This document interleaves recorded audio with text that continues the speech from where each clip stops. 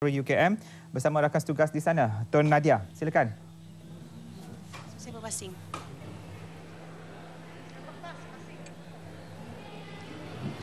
Baik, terima kasih Said Munawar dan juga Suami Muhammad yang berada di Studio 1 Angkasa Puri. Sekarang ini saya berada di Persada Chancellery di Universiti uh, Kebangsaan Malaysia dan uh, sememangnya saya bersama dengan adik-adik yang merupakan pelajar-pelajar UKM sendiri menanti dengan penuh bersemangat uh, di hadapan monitor untuk pembentangan bajet 2015 oleh Yang Amat Berhormat Perdana Menteri kita. Dan tentunya bersama saya hari ini kita ada Profesor Dr. Mansur Jusuh dari Pusat Pengajian Ekonomi, Fakulti Ekonomi dan Pengurusan UKM. Selamat datang. Assalamualaikum Prof. Waalaikumsalam. Waalaikumsalam warahmatullahi wabarakatuh. Baik Prof, mungkin uh, sekarang ini antara topik hangat yang diperkatakan mengenai pembentangan uh, bajet 2015 ialah GST.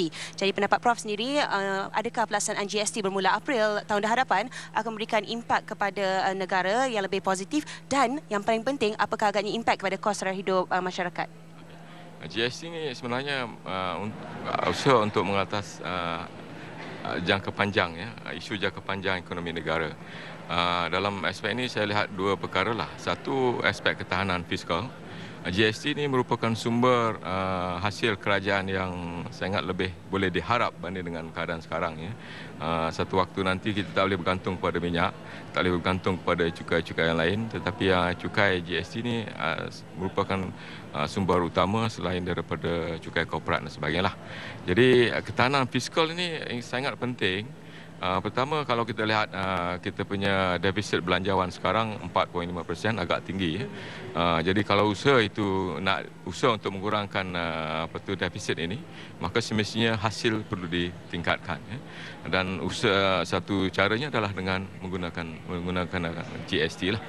Uh, itu yang pertama. Dan yang kedua aspek uh, fiskal juga ketahanan fiskal ini ialah uh, hutang negara ya. Kita sekarang kita lebih kurang uh, 50% daripada GDP hutang negara itu agak tinggi. Jadi kalau keadaan defisit ini berterusan maka semestinya uh, kita tidak mempunyai keupayaan untuk mengurangkan uh, apa tu hutang negara tersebut. Itu aspek yang pertama, ketahanan fiskal. Aspek yang kedua adalah daya saing ya. Kerana pertama GST di merupakan cukai kepenggunaan. Dia tidak kena kepada cukai untuk barang yang diekspor. Jadi uh, itu satu manfaat kepada pengekspor lah. Yang kedua, uh, kalau usaha ini juga disedia, disertakan dengan pengurangan cukai korporat yang kita dapati uh, cukai korporat di negara-negara lain sudah pun kurang. Maka kalau kita kurangkan itu, uh, maka ke, ke, keupayaan kita untuk bersaing dengan negara lain agak, agak lebih lebih tinggi ya. Harus ingat uh, banyak negara-negara uh, seperti Vietnam negara baru muncul ini uh, juga merupakan pesaing kepada kepada kita. Jadi kita semestinya harus uh, berusaha untuk memastikan kita lebih daripada mereka.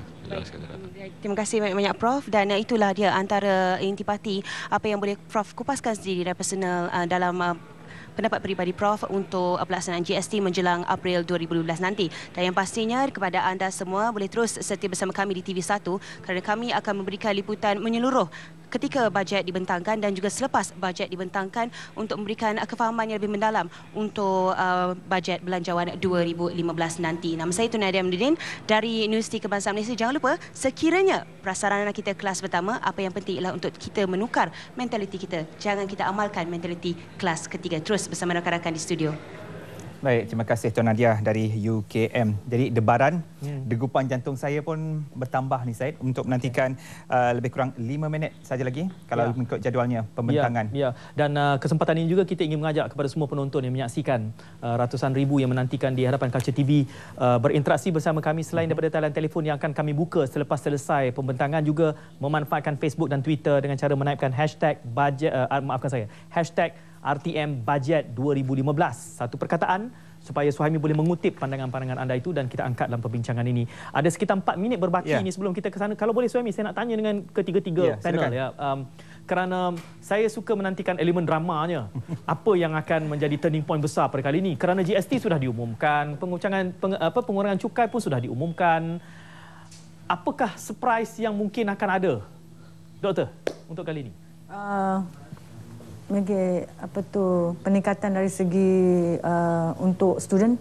Okey. Maksudnya Pelajar. sekarang ni kalau uh, kita nak menggalakkan uh, negara kita menjadi hub hmm. uh, pendidikan di rantau Asia ni, eh, hub tersohor di rantau Asia ni, saya kira kena ada insentif-insentif seperti My Brain 15 tu lagi lah. Okay. Untuk yeah. menggalakkan orang muda ni hmm. meneruskan uh, pelajaran ke peringkat uh, sarjana dan okay. juga PhD. Ya. Okay. Encik Yi, ada apa kejutan agaknya yang mungkin? Hmm, saya, saya tidak rasa ada kejutan uh, disebabkan uh, GST dan juga pengurangan uh, subsidi. Hmm. Kerajaan akan tumpu kepada pelaksanaannya dan macam mana uh, mencadangkan langkah-langkah untuk memastikan PKS itu yeah. terus berkembang dan juga kurangan uh, miskin dapat uh, menghadapi uh, sara hidup uh, yang lebih tinggi ya. dengan panduan-panduan kewangan dan ya. juga subsidi yang berbentuk lain dan juga uh, kalakan cukai dan sebagainya. Hmm. Cik Nurizan, ada ada kejutan? Ya, saya rasa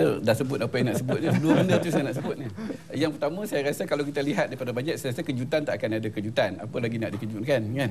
Tetapi saya rasa tumpuan bajet kalau kita boleh gunakan perkataan tumpuan berbanding kejutan, saya rasa tumpuan ni saya fikir meminimalkan impak apa nama ni um, pengurangan subsidi dan juga GST itu uh, terutama sekali kepada kelompok bottom 40 itu. Uh-huh. uh, kita di, di, bagi tahu bahawa sekarang kita inflation disebut 3 point something. It's going to be okay. after uh, apa GST is going to be about 5 lebih kurang 5 kan? Dia ada kesan. Jadi macam mana nak nak minimalkan impak itu ke atas uh, ke atas apa nama ni uh, ke atas uh, rakyat? Dan yang kedua saya rasa saya melihat Uh, beberapa kenyataan-kenyataan yang dibuat oleh pemimpin nampaknya PKS ya akan uh, terus uh, menjadi uh, tumpuan.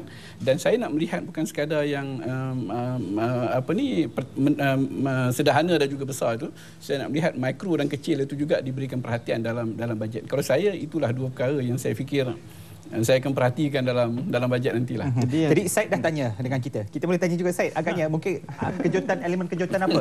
saya pernah tanya saya, saya ha. belum tanya Said. Okey, saya saya akan jawab soalan dengan satu soalan juga. saya belajar uh, teknik ini dari Suhaimi Muhammad. Kerana uh, kalau Suhaimi ingat malam tadi ya, Suhaimi yeah. memetik dalam bajet tahun lalu.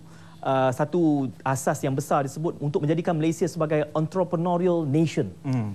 Itu satu kenyataan yang besar itu untuk mempersiapkan minda rakyat juga. Tetapi di sepanjang tempoh 12 bulan itu, apakah building block yang sudah terbina untuk mempersiapkan ke arah itu ataupun ia masih menjadi lip service? Cik Nurizan?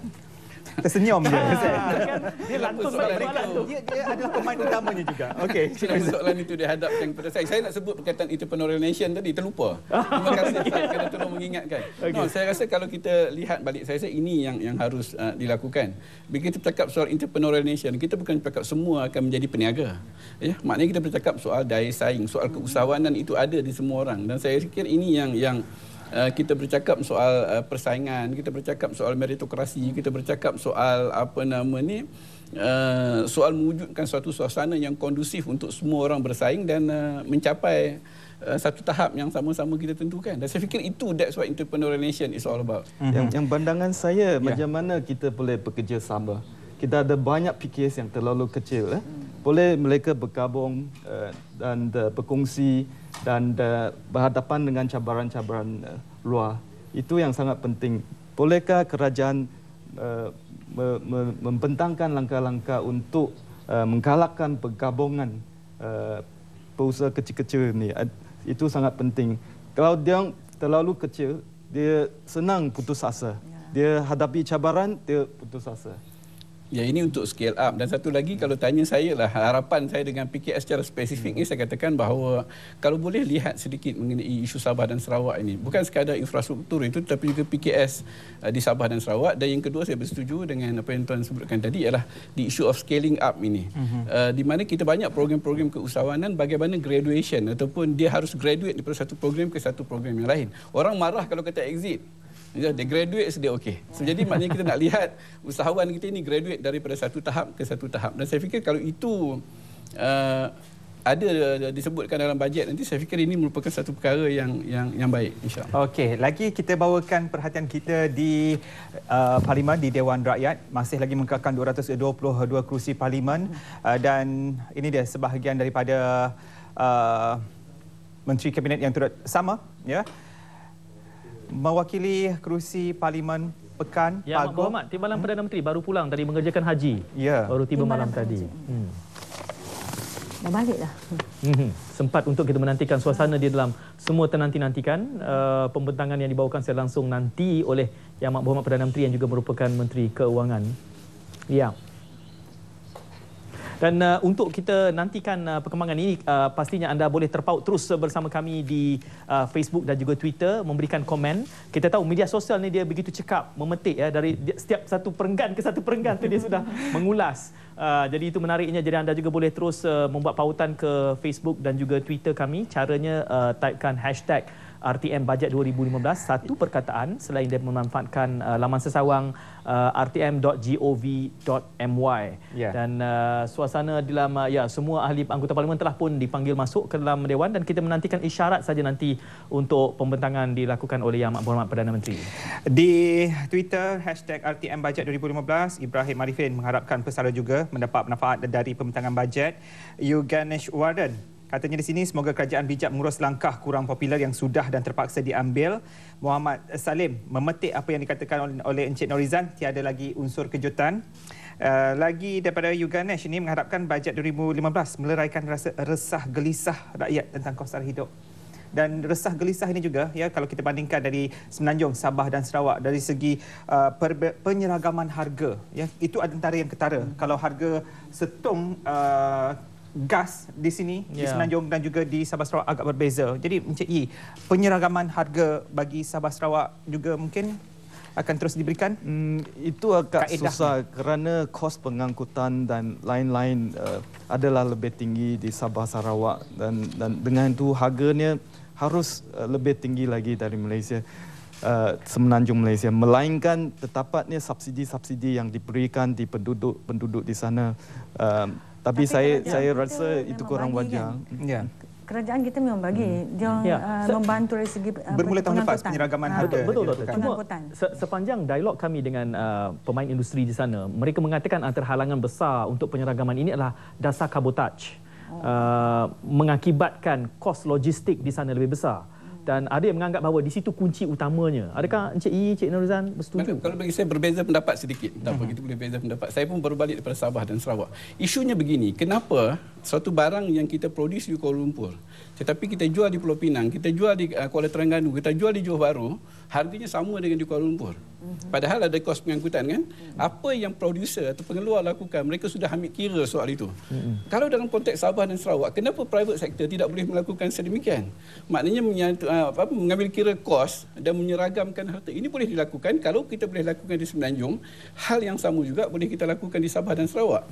Jadi ada perkara yang uh, kita mengatakan bahawa kerajaan perlu lakukan uh, seperti yang dilakukan pada tahun lepas itu tetapi pada yang masa yang sama saya mengatakan bahawa uh, private sector ataupun sektor sektor sektor uh, swasta juga yang mempunyai peranan uh, dalam soal itu. Harga yang sama, barang yang sama, kita jual di Pulau Pinang, kita jual di Perlis, kita jual di Terengganu, itu juga kan ada kos. Tapi kenapa harga di, di Kuala Terengganu dan harga di Kuala Lumpur itu sama? Kenapa tidak boleh kita samakan harga di Kuala Lumpur dengan harga di Kota Kinabalu ataupun di Kuching? Uh, jadi ini saya rasa uh, harus lihat. Saya faham uh, dia punya uh, ini. Tetapi pada masa yang sama saya rasa kita bercakap soal merapatkan itu. Dan saya percaya Uh, kalaupun tidak banyak tetapi sekurang-kurangnya um, uh, perkara ini boleh uh, kita lakukan. Dan uh, jurang harga itu dapat kita kurangkan kalaupun tidak boleh di, disamakan. Ya. Okey. Ada isu struktural juga di sini, uh, Cik Nurizan, Cik I dan Dr. Baya ya. Uh, kita pernah sebut Suhaimi, kenapa Bario pengeluar uh, beras tapi beras beras di Bario mahal. Mahal, Adalah kerana beras mereka dibawa keluar. Uh, tapi beras yang dibawa masuk yang digunakan untuk konsumsi dalaman itu dibawa dari luar. Ada kesan logistik. Jadi ini harus diperbetulkan juga. Tidak begitu, doktor? Ya, saya rasa orang kata dia dia orang memainkan sentimen Ya. jarak tu.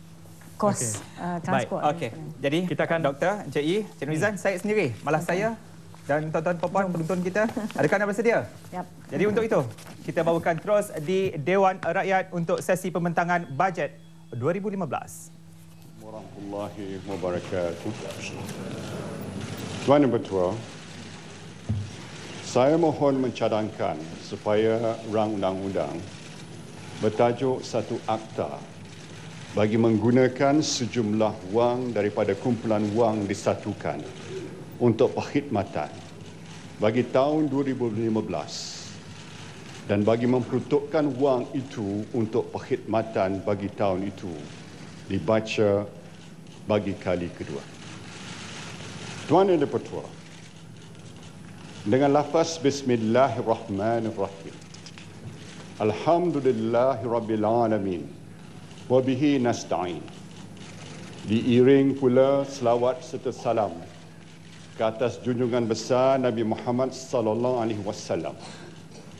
Marilah bersama berdoa dan yang beragama Islam mendadah menadah kedua-dua tangan setingginya pohon limpah keberkatan juga inayahnya bagi saya membentang sebuah dokumen penting iaitu bajet 2015 agar dapat didengar dan dihadami sebaiknya oleh sidang dewan dan rakyat Malaysia seluruhnya. Sebelum meneruskan pembentangan, saya mewakili pihak kerajaan dan Dewan Yang Mulia ini mengucapkan takziah di atas kembalinya ke rahmatullah Allah yarhamha Tun Hajah Suhaila binti Tan Sri Muhammad Noor yang merupakan isteri kepada Perdana Menteri ketiga.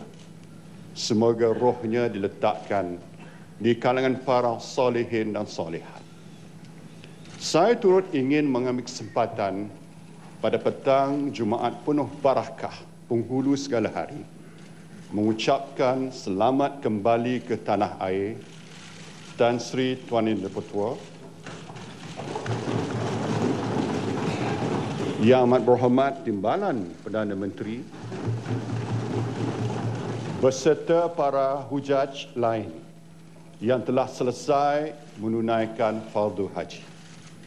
Moga-moga beruntunglah di atas kurniaan haji akbar yang mabrur hendaknya. Tuan Yang Pertua, secara sedar ataupun tidak, sepanjang hampir 60 tahun merdeka. Kita telah merencana pelbagai rancangan. Jangka pendek, sederhana dan jangka panjang. Dalam usaha memakmurkan negara. Hakikatnya, pelaksanaan serta pembangunan ekonomi telah melalui segala macam strategi yang disusun kemas lagi sistematik.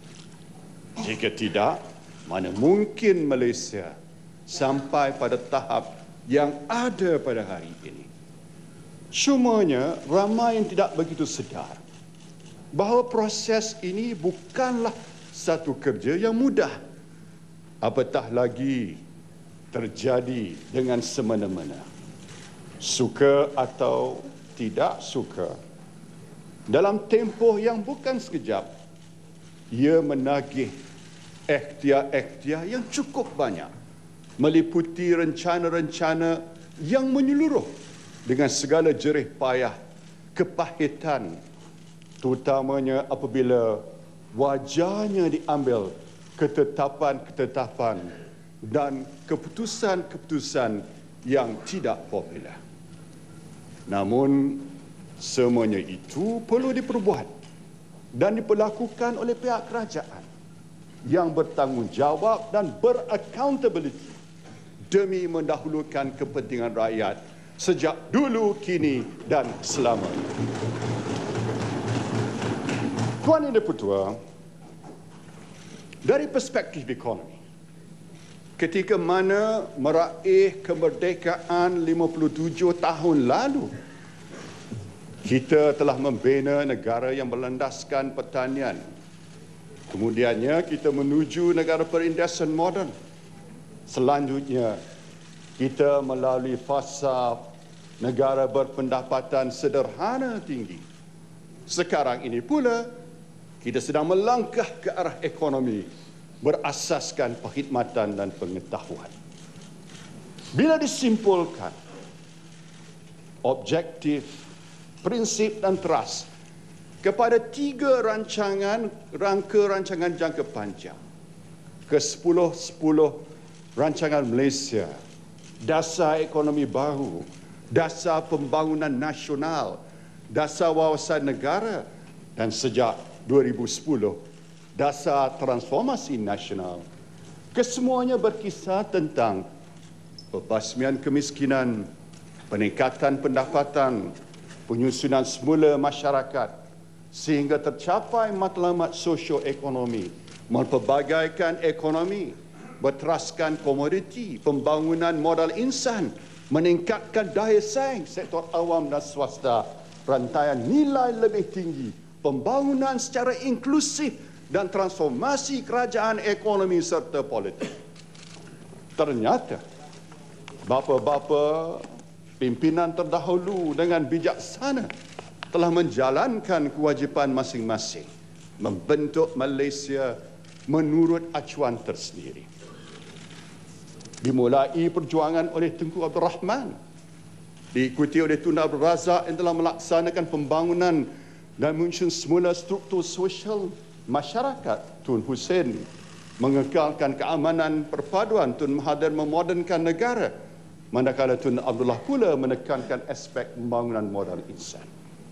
Tuan Yang Dipertua, seterusnya kerajaan yang ada hari ini terus komited memacu pertumbuhan negara dengan tasawur yang lebih luas bagi meletakkan Malaysia di jajaran kukuh dari masa ke semasa. Jelas dia jika dicongak pembentangan bajet petang ini adalah yang keenam sejak saya mengambil alih pentadbiran dan juga adalah bajet negara kali ke-56. Sesungguhnya juga bajet 2015 ini menjadi bingkisan pelengkap kepada 10 rancangan Malaysia. Selanjutnya pada Mei 2015 nanti bermulalah jendela rancangan Malaysia ke-11. Serentak itu, satu pendekatan baru sedang digariskan yang dikenali sebagai Strategi Pembangunan Nasional Malaysia atau Malaysia National Development Strategy atau MyNDS. MyNDS akan menjadi antara formula kepada perancangan dan penyediaan program serta projek di bawah rancangan ke Malaysia ke-11 ia akan menggunakan sumber yang terhad secara optimal yakni menumpukan pada projek dan program berimpak tinggi kos yang rendah serta pelaksanaan secara cekap dan pantas. Artinya bajet 2016 kelak akan menjadi pemula pada pelonjak akhir memacu separuh dekad Malaysia dalam menuju status dengan izin high income advanced economy menjelang tahun 2020. Merujuk kepada perjalanan negara-negara lain seperti Korea, Jerman, Jepun, Taiwan maupun China di mana kebanyakannya bermula dengan asas pertanian sebagai ekonomi mereka dan kini beralih kepada asas ekonomi yang mengutamakan pengetahuan, kemahiran, inovasi dan kepakaran yang tinggi. Jika dapat diterangkan dengan bahasa yang mudah, perancangan dan instrumen ekonomi kepada sesebuah negara perlu disesuaikan mengikut musim dan peredaran masa serta tuntutan domestik dan global.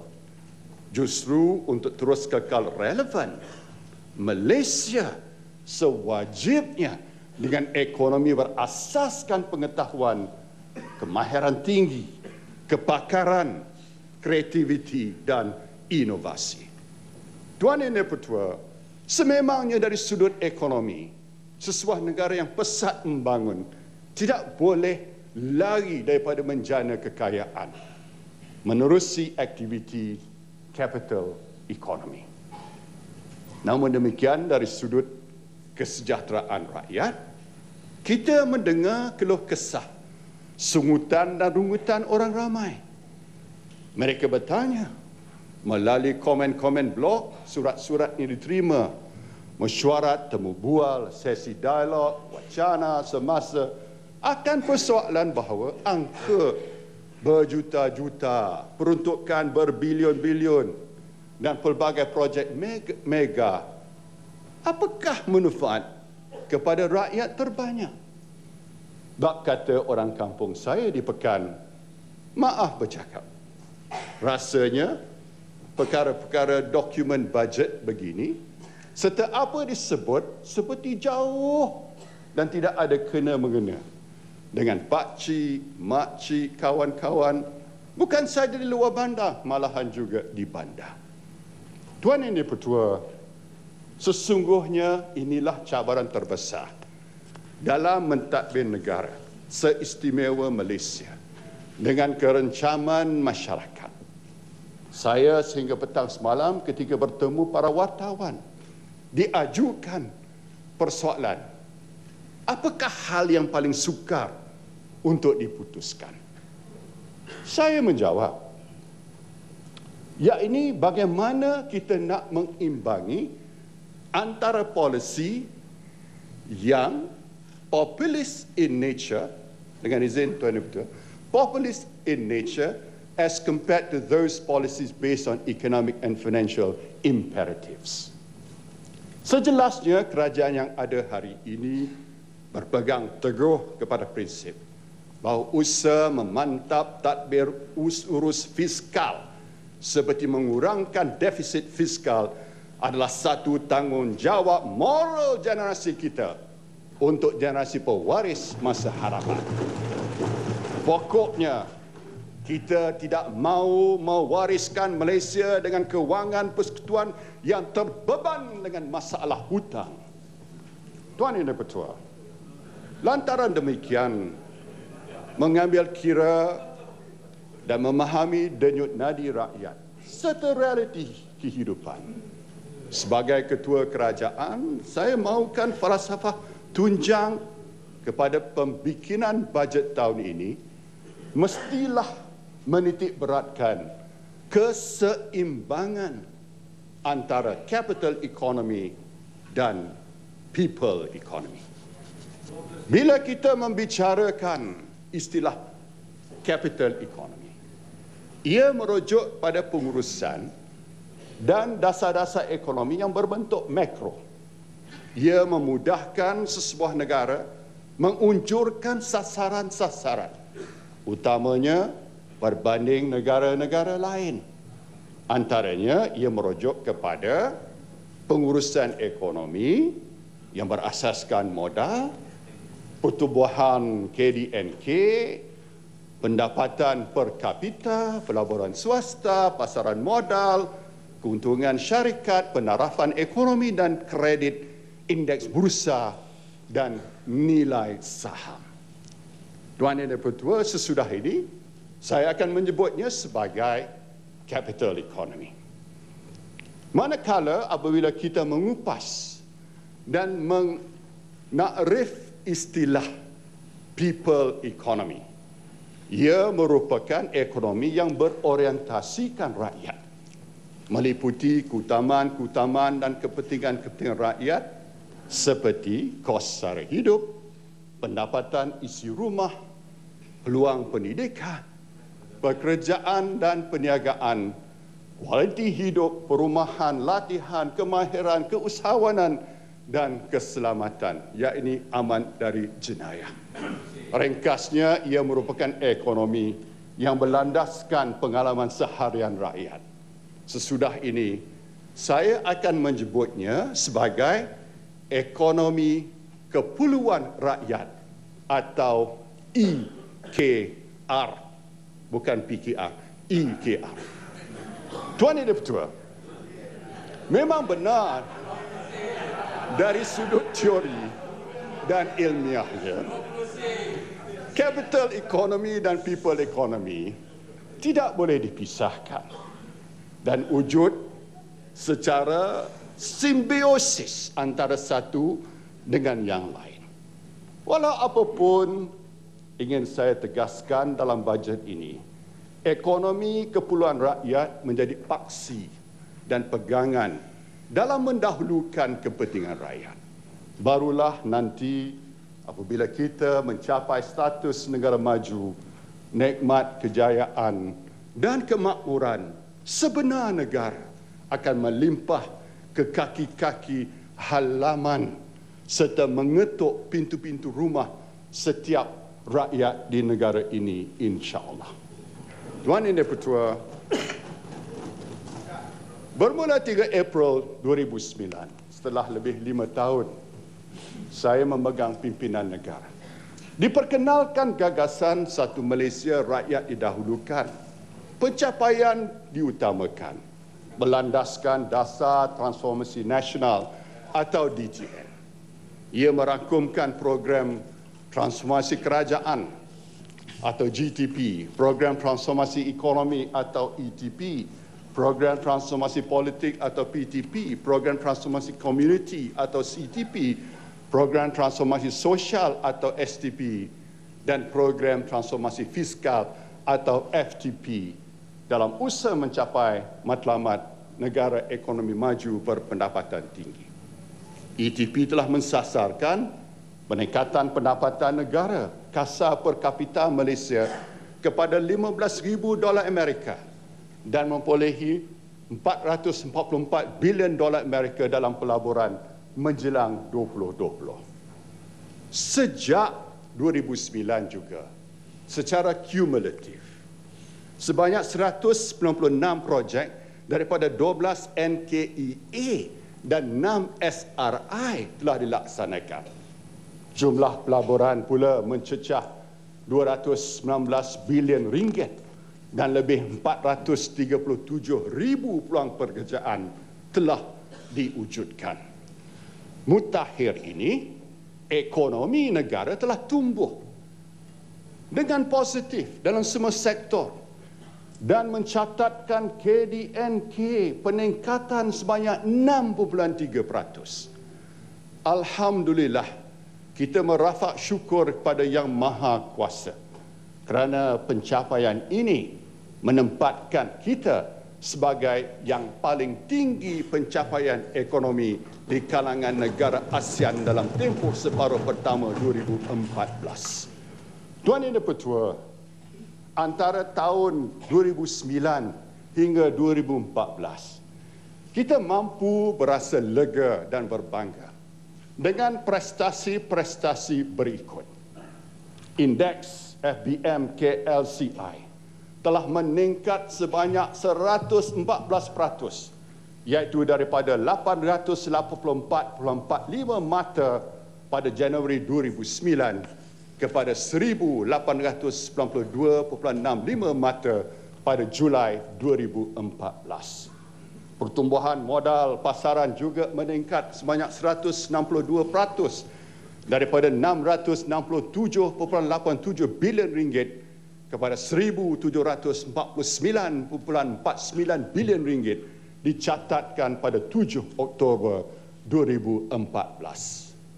Pendapatan negara kasar per kapita pula menunjukkan peningkatan sebanyak 50% iaitu daripada 6,700 dolar Amerika kepada 10,060 dolar Amerika dalam tempoh lima tahun ini. InsyaAllah, saya yakin pada tahun ini kita akan mencapai pertumbuhan ekonomi negara yang kukuh pada kadar 5.5% hingga 6%. Kadar defisit fiskal negara juga semakin bertambah baik. Kita telah dapat menurunkan kadar defisit daripada 6.7% pada tahun 2009 kepada 3.9% pada tahun 2013 dan dijangka terus menurun kepada 3.5% pada akhir tahun ini. Tuan Ini Petua, bagi 2015 pula, pertumbuhan ekonomi dijangka kekal kokoh pada kadar 5 hingga 6 peratus. Manakala defisit fiskal dijangka berkurangan kepada 3 peratus. Berhubung itu, berhubung itu, sukalah saya memaklumkan di sini, kita juga telah memecah beberapa rekod pencapaian. Antaranya, pertama, indeks bursa Malaysia telah mencatat paras 1892.65 mata pada Julai 2014 menjadikannya paras tertinggi dalam sejarah negara.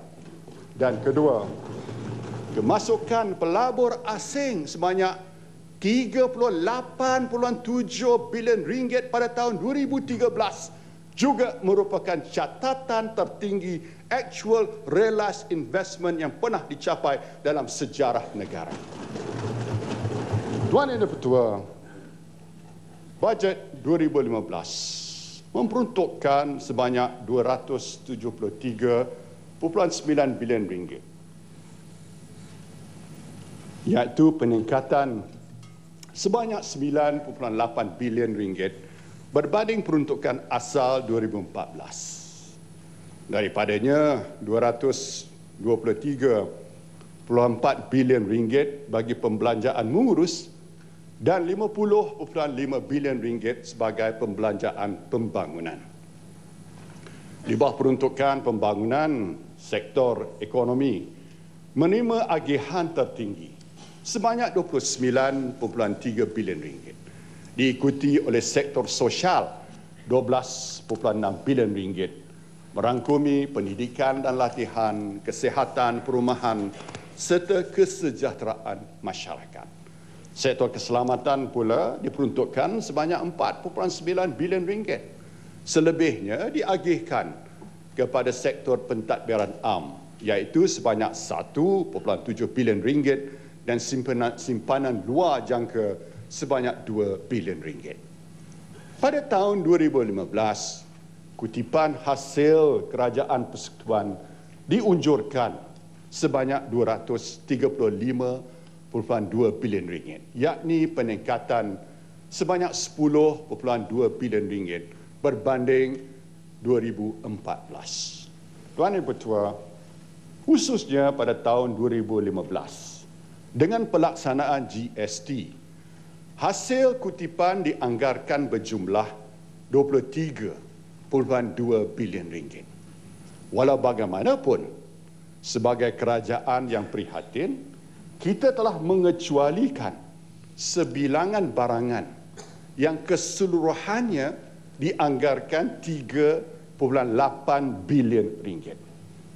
Harus diketahui bahawa dengan pelaksanaan GST ini, maka cukai jualan dan perkhidmatan atau SST dimansuhkan yang menyebabkan kehilangan hasil kerajaan sebanyak 13.8 bilion ringgit.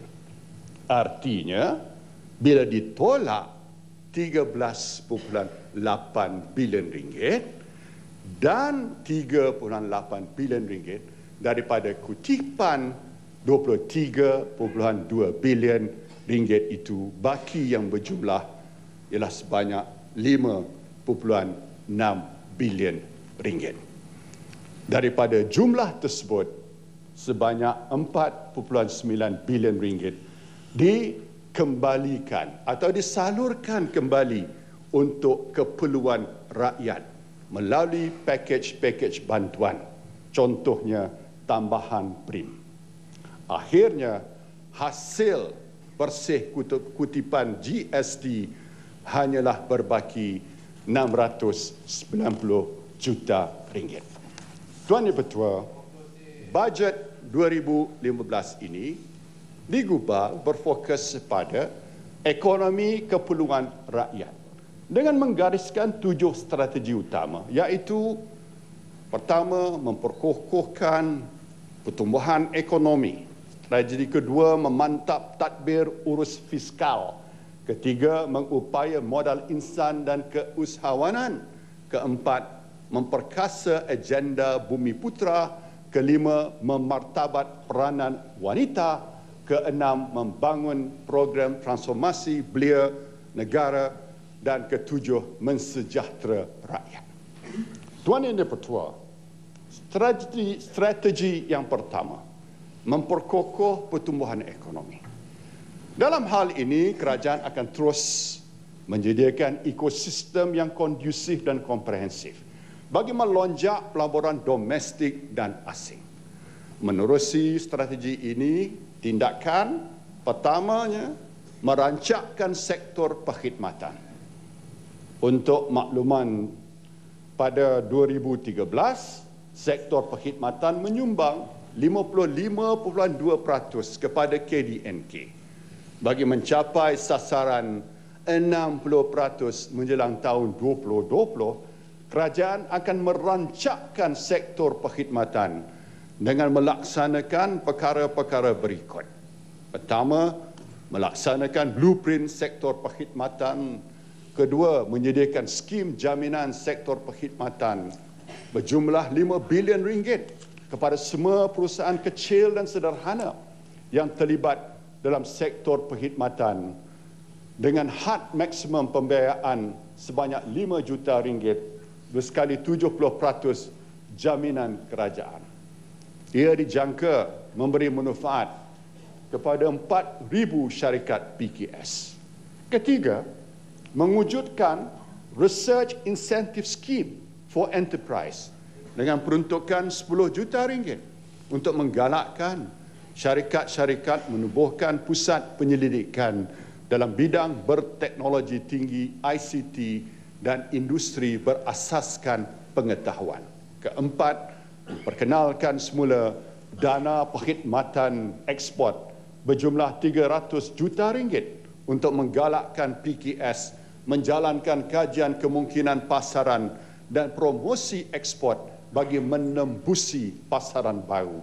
Kelima, mengukuh skim pembangunan franchise di bawah KPD NKK bersama Persatuan Franchise Malaysia sebanyak 20 juta ringgit diperuntukkan untuk skim ini. Tindakan kedua, memperkokohkan pasaran kewangan Islam. Industri kewangan Islam Malaysia kini mencakupi 25% daripada industri perbankan dari segi aset. Di peringkat antarabangsa pula, Malaysia kekal sebagai pasaran sukuk terbesar di dunia, merangkumi 60% daripada pasaran sukuk global. Selanjutnya, kerajaan akan memperkenalkan akaun pelaburan patuh syariah pada 2015 dikenali sebagai Investment Account Platform atau IAP. Ia akan memberi peluang kepada pelabur dalam pembiayaan aktiviti keusahawanan dan pembangunan PKS yang berdaya maju. Pada masa yang sama, IAP akan menarik pelabur institusi dan individu termasuk high net worth individuals dalam pasaran kewangan Islam. Dalam hal ini, dana permulaan sebanyak 150 juta ringgit akan disediakan. Bagi menggalakkan pelaburan dalam IAP, kerajaan mencadangkan pelabur individu diberi pengecualian cukai pendapatan ke atas keuntungan dari pelaburan yang layak selama tiga tahun berturut-turut. Untuk merancangkan terbitan dan urus niaga pasaran sukuk dan bon tempatan pula, kerajaan telah memperkenalkan produk bon dan sukuk dagangan bursa atau ETBS pada Januari 2013. Makanya kerajaan mencadangkan supaya sekuriti kerajaan Malaysia dan terbitan pelaburan kerajaan turut disenaraikan dan diurus niaga dalam ETBS. Selain itu, perbelanjaan menerbitkan sukuk telah diberi potongan cukai mulai tahun taksiran 2003 hingga tahun taksiran 2015. Selaras dengan ini, dicadangkan potongan cukai bagi perbelanjaan menerbitkan sukuk berasaskan prinsip ijarah dan wakalah dilanjutkan selama tiga tahun lagi sehingga tahun taksiran 2018. Tuan Yang Dipertua, tindakan ketiga, menggalakkan industri perkapalan tempatan. Akta Perkapalan Saudagar 2011 memperuntukkan keperluan mandatory insurance atau security kewangan untuk pelindungan liability pihak ketiga bagi kapal yang beroperasi di Malaysia. Buat masa ini, kebanyakan pemilik kapal muatan besar di Malaysia mempunyai pelindungan liability pihak ketiga melalui protection dan indemnity di luar negara. Justru, bagi membantu pemilik kapal muatan kasar 300 tan ke bawah, kerajaan akan menubuhkan Kelab PNI Malaysia di bawah Exim Bank pada kadar premium yang berpatutan. Tindakan keempat, memastikan pertumbuhan wilayah yang seimbang dan inklusif dengan terus menggalakkan pelaburan di kawasan-kawasan yang kurang membangun. Dalam konteks ini, kerajaan akan menambah baik package insentif khas yang disediakan di bawah koridor-koridor ekonomi berangkumi lebih banyak kawasan yang kurang maju. Tindakan kelima, insentif untuk pengurusan kawasan perindustrian. Kawasan-kawasan perindustrian yang mempunyai kemudahan awam atau infrastruktur yang diselenggara dengan sistematik merupakan antara faktor utama yang menyokong pembangunan industri. Dalam hal ini, insentif dengan 100% pengecualian cukai pendapatan bagi tempoh lima tahun akan disediakan untuk menggalakkan pihak swasta menyelenggara dan menambah baik kawasan perindustrian di kawasan kurang membangun. Manakala insentif dengan 70% pengecualian cukai pendapatan bagi tempoh lima tahun akan disediakan kepada pihak swasta yang mengurus kawasan perindustrian di kawasan yang lain. Tindakan keenam, allowance, allowance modal bagi peningkatan proses otomasi oleh industri berintensif buruh. Kerajaan akan menyediakan insentif allowance modal perbelanjaan otomasi untuk menggalakkan proses otomasi sektor perkilangan mengikut kategori berikut. Kategori pertama iaitu untuk industri yang mempunyai kebergantungan buruh yang tinggi seperti industri produk getah, plastik, kayu, perabot dan tekstil. Insentif yang ditawarkan adalah allowance modal perbelanjaan otomasi sebanyak 200% ke atas 4 juta ringgit perbelanjaan pertama insentif ini adalah bagi tempoh 2015 hingga 2017. Dan kategori kedua iaitu untuk industri-industri yang lain. Insentif yang ditawarkan adalah allowance modal perbelanjaan otomasi sebanyak 200% ke atas 2 juta ringgit perbelanjaan modal pertama. Insentif ini adalah bagi tempoh 2015 hingga 2020. Tindakan ketujuh dalam menggalakkan pelaburan berkualiti tinggi dan lebih tertumpu, pakej galakkan lebih istimewa akan ditawarkan untuk projek-projek pelaburan yang berasaskan teknologi, inovasi dan pengetahuan melibatkan pekerja berkelayakan tinggi dan berpengetahuan dengan gaji yang tinggi. Tuan Yang Pertua, tindakan ke-8 merancak pelaburan awam dan swasta. Bagi tahun 2015, beberapa projek infrastruktur akan dilaksanakan. Pertama, membina lebuh raya Sungai Besi Ulu Kelang sepanjang 59 km dengan kos pembinaan berjumlah 5.3 bilion ringgit. Kedua, membina lebuh raya Pantai Barat dari Taiping ke Banting sepanjang 276 km dengan kos pembinaan berjumlah 5 bilion. Ketiga, membina lebuh raya Damansara Shah Alam sepanjang 47 km dengan kos pembinaan 4.2 bilion ringgit. Keempat, membina lebuh raya lengkaran luar Kuala Lumpur hubungan timur sepanjang 36 km dengan kos pembinaan 1.6 bilion ringgit. Kelima, menaik taraf landasan kereta api sektor Pantai Timur melibatkan jajaran gemas mentakap Jerantut Sungai Yu dan Gua Musang tumpat dengan peruntukan 150 juta ringgit. Keenam, pembinaan MRT jajaran kedua sepanjang 56 km dari Selayang ke Putrajaya melibatkan anggaran 23 bilion ringgit dan ketujuh manakala projek LRT 3 yang bakal menghubungkan bandar utama sehingga Shah Alam dan Kelang dianggarkan 9 bilion ringgit akan dilaksanakan. Projek pengerang Integrated Petroleum Complex dengan nilai pelaburan 69 bilion ringgit pula yang dijangka dapat mewujudkan lebih 10,000 peluang pekerjaan.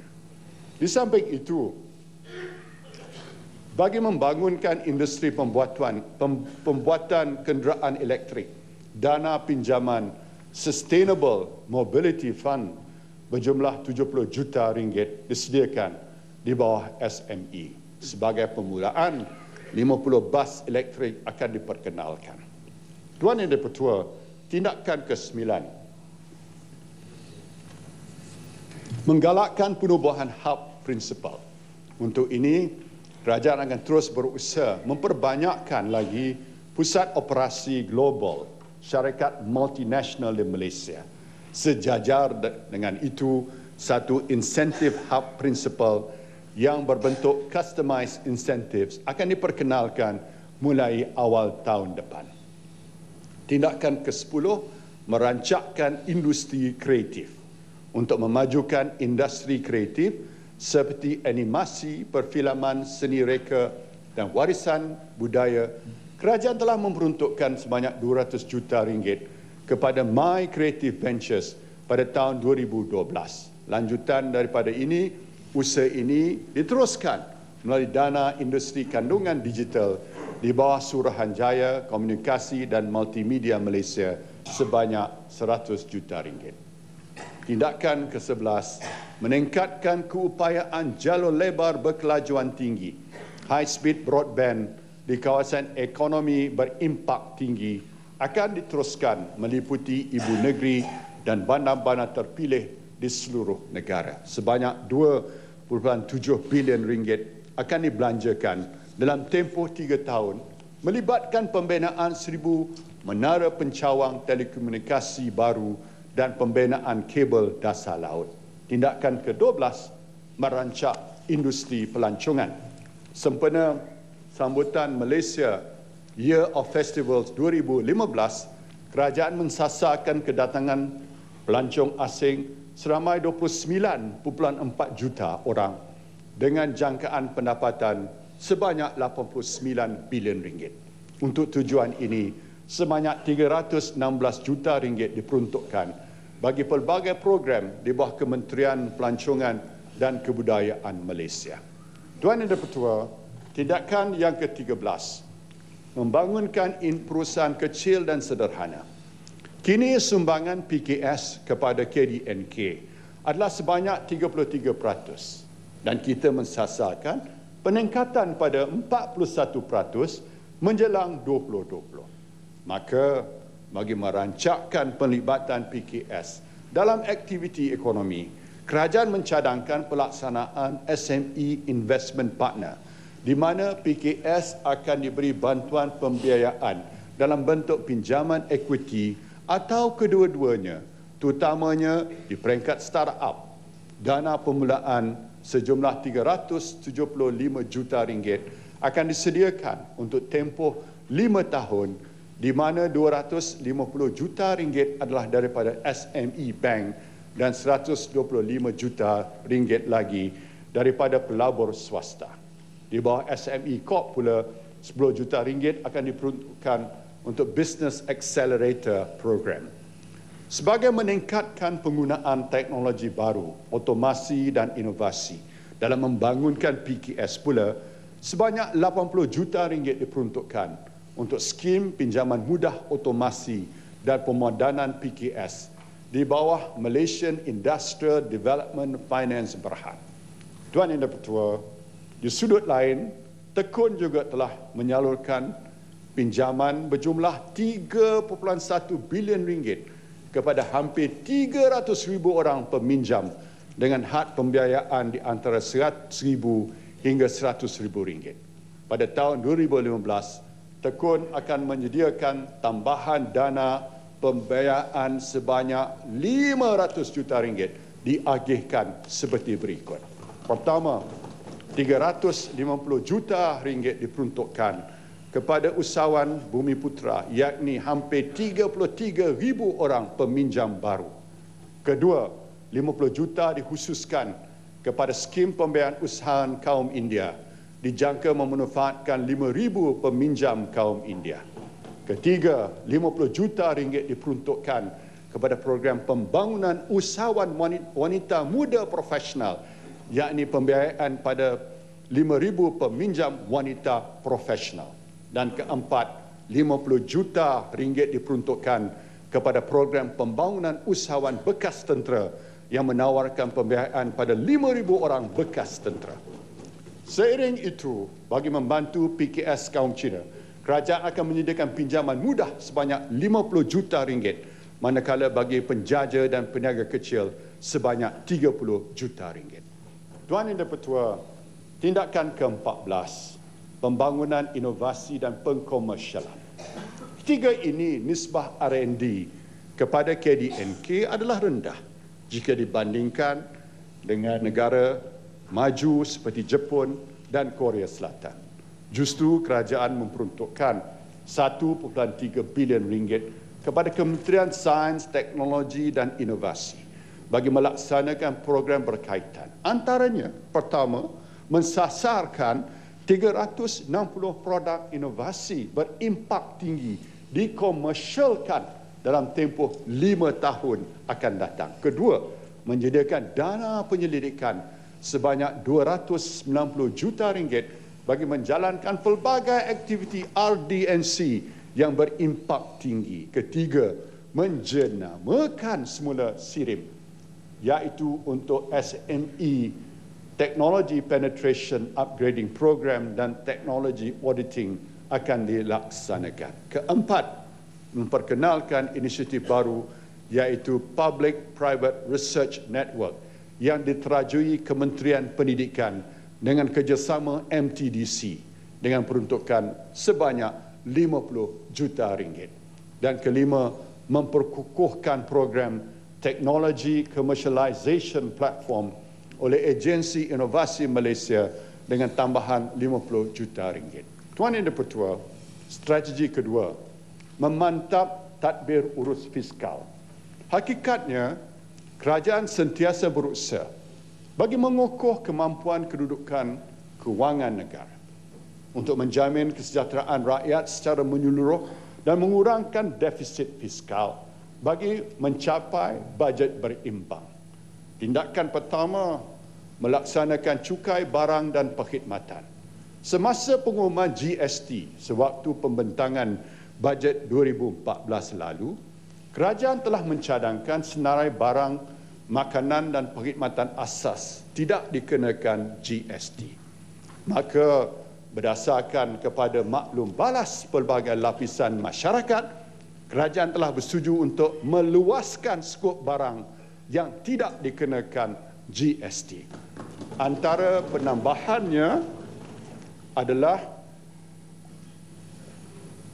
pertama semua jenis buah-buahan tempatan dan import. Roti putih dan roti wholemeal serbuk kopi serbuk teh serbuk koko mi kuning kuih tiaw laksa dan mihun ubat-ubatan penting nasional yang meliputi hampir 2,900 jenama ubat. Ubat-ubatan ini adalah bagi kegunaan rawatan untuk 30 jenis penyakit termasuk sakit jantung, kencing manis, darah tinggi, kanser dan rawatan kesuburan. Bahan bacaan seperti buku mewarna kanak-kanak, buku latihan, rujukan, buku teks, kamus dan kitab agama. Suat khabar Selain itu, selain itu, kerajaan juga bersetuju menaikkan kadar penggunaan elektrik yang tidak dikenakan GST daripada 200 unit kepada 300 unit pertama. Ini bermakna sebanyak 70% isi rumah akan mendapat manfaat langsung. Di samping itu, bagi memastikan pelaksanaan GST tidak membebankan rakyat, kerajaan bersetuju supaya penjualan runcit minyak petrol RON 95, diesel dan LPG diberikan pelepasan GST. Melalui langkah ini, pengguna dan kumpulan sasaran yang berkenaan tidak perlu membayar GST bagi pembelian petrol RON 95 diesel dan LPG. Tuan Yang Ketua, boleh saya nyatakan di sini bahawa daripada 944 barang dan perkhidmatan yang terdapat di dalam basket of goods indeks perguna pengguna 300 532 barang atau 56% dijangka mengalami penurunan harga sehingga 4.1%. Antara produk tersebut adalah ubat-ubatan, barangan elektrik seperti peti sejuk dan mesin basuh, produk tekstil, barangan plastik seperti baldi dan pinggan mangkuk, kasut dan selipar, perabot rumah, lampin bayi, sabun, daging, telur ayam, minyak, makanan laut, beras dan sayur-sayuran. Manakala sekitar 354 jenis barang dan perkhidmatan yang akan mengalami kenaikan tidak melebihi 5.8%. Apa yang penting, kerajaan berharap para peniaga bersifat bertanggungjawab dan tidak meningkatkan harga sehingga membebankan rakyat. Untuk memudahkan rakyat, kerajaan akan mengeluarkan shoppers guide bagi membolehkan mereka membuat perbandingan harga sebelum dan selepas GST. Tuan Ibu Tua, perlu difahami baik-baik juga sebenarnya kesan langsung daripada pelaksanaan GST membolehkan kerajaan mengurangkan beban cukai pada rakyat seperti berikut. Ini cukai dikurangkan kerana GST. Pertama, kepada individu dan isi rumah bagi tahun taksiran 2015 kadar cukai pendapatan individu akan dikurangkan satu hingga tiga mata peratusan. Melalui langkah ini, seramai 300 ribu orang yang kini membayar cukai pendapatan tidak lagi perlu membayar. Manakala gulungan berkeluarga yang berpendapatan RM4,000 sebulan tidak lagi mempunyai tanggungan cukai. Cukai pendapatan individu juga akan distruktur semula di mana pendapatan bercukai pada kadar maksimum dinaikkan daripada melebihi RM100,000 kepada melebihi RM400,000. Kadar cukai maksimum yang kini 26% pula dikurangkan pada 24%, 24.5% dan 25%. Justru pembayar cukai akan menikmati penjimbatan bayaran cukai sekurang-kurangnya sebanyak 5.5 3%. Kedua, bagi tahun taksiran 2015, kadar cukai pendapatan koperasi juga dikurangkan satu hingga dua mata peratusan. Selain itu, yuran kesetiausahaan dan pemfailan cukai juga dibenarkan potongan cukai. Ketiga, bagi tahun taksiran 2016, kadar cukai pendapatan syarikat dikurangkan satu mata peratusan daripada 25% kepada 24%. Keempat, bagi tahun taksiran 2016, kadar cukai pendapatan syarikat kecil dan sederhana SME dikurangkan satu mata peratusan daripada 20% kepada 19%. Tuan Ibu Tua, pada satu perspektif, Pengalaman antarabangsa membuktikan tahap kesediaan peniaga adalah salah satu faktor kejayaan pelaksanaan GST. Bagi membantu para peniaga, insentif dan bantuan berikut akan dilaksanakan. Pertama, pemberian geran latihan sebanyak 100 juta ringgit pada peniaga untuk menghantar kaki tangan menjalani latihan tentang GST. Kedua, bantuan kewangan berjumlah 150 juta ringgit kepada PKS bagi pembelian perisian perakaunan. Ketiga, kos pembelian peralatan dan perisian ICT diberi allowance modal dipercepatkan. Keempat, perbelanjaan latihan perakaunan dan ICT berkaitan GST diberi potongan cukai tambahan. Tuan Ibu Tua, tindakan kedua, merasionalisasi subsidi. kerajaan telah memperuntukkan 588 juta ringgit bagi pelbagai subsidi pada tahun 1994. Jumlah ini telah meningkat dengan begitu ketara kepada 40.5 bilion ringgit pada tahun 2014. Bagi menambah baik kedudukan kewangan awam, kerajaan komited untuk melaksanakan langkah rasionalisasi subsidi, terutamanya subsidi petroleum.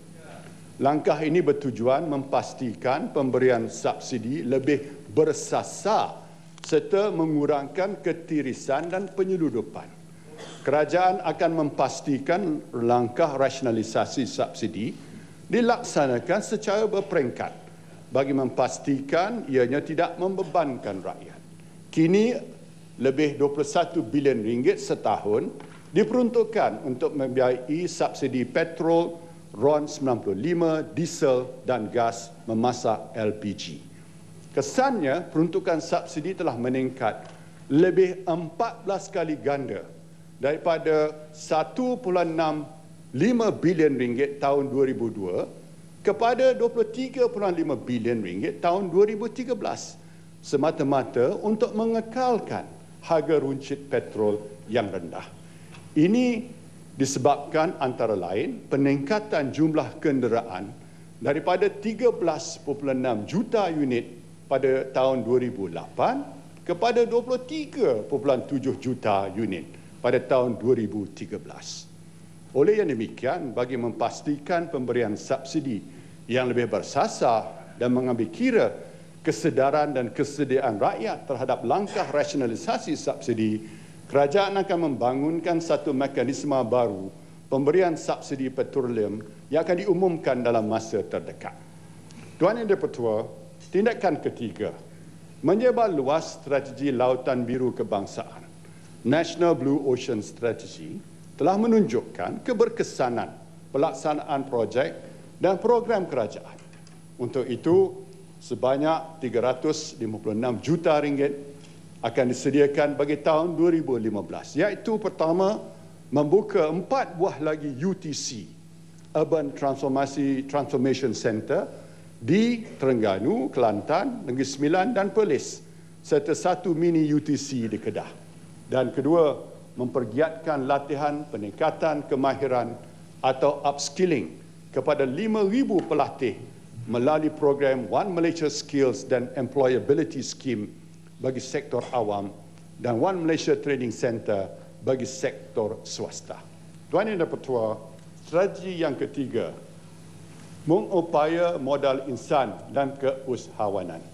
Contemporary ini antara faktor yang menentukan kejayaan bagi sesebuah negara banyak bergantung kepada sumber manusianya. Kekayaan kini tidak lagi berasaskan pada sumber bahan mentah seperti petroleum, kelapa sawit atau sumber galian.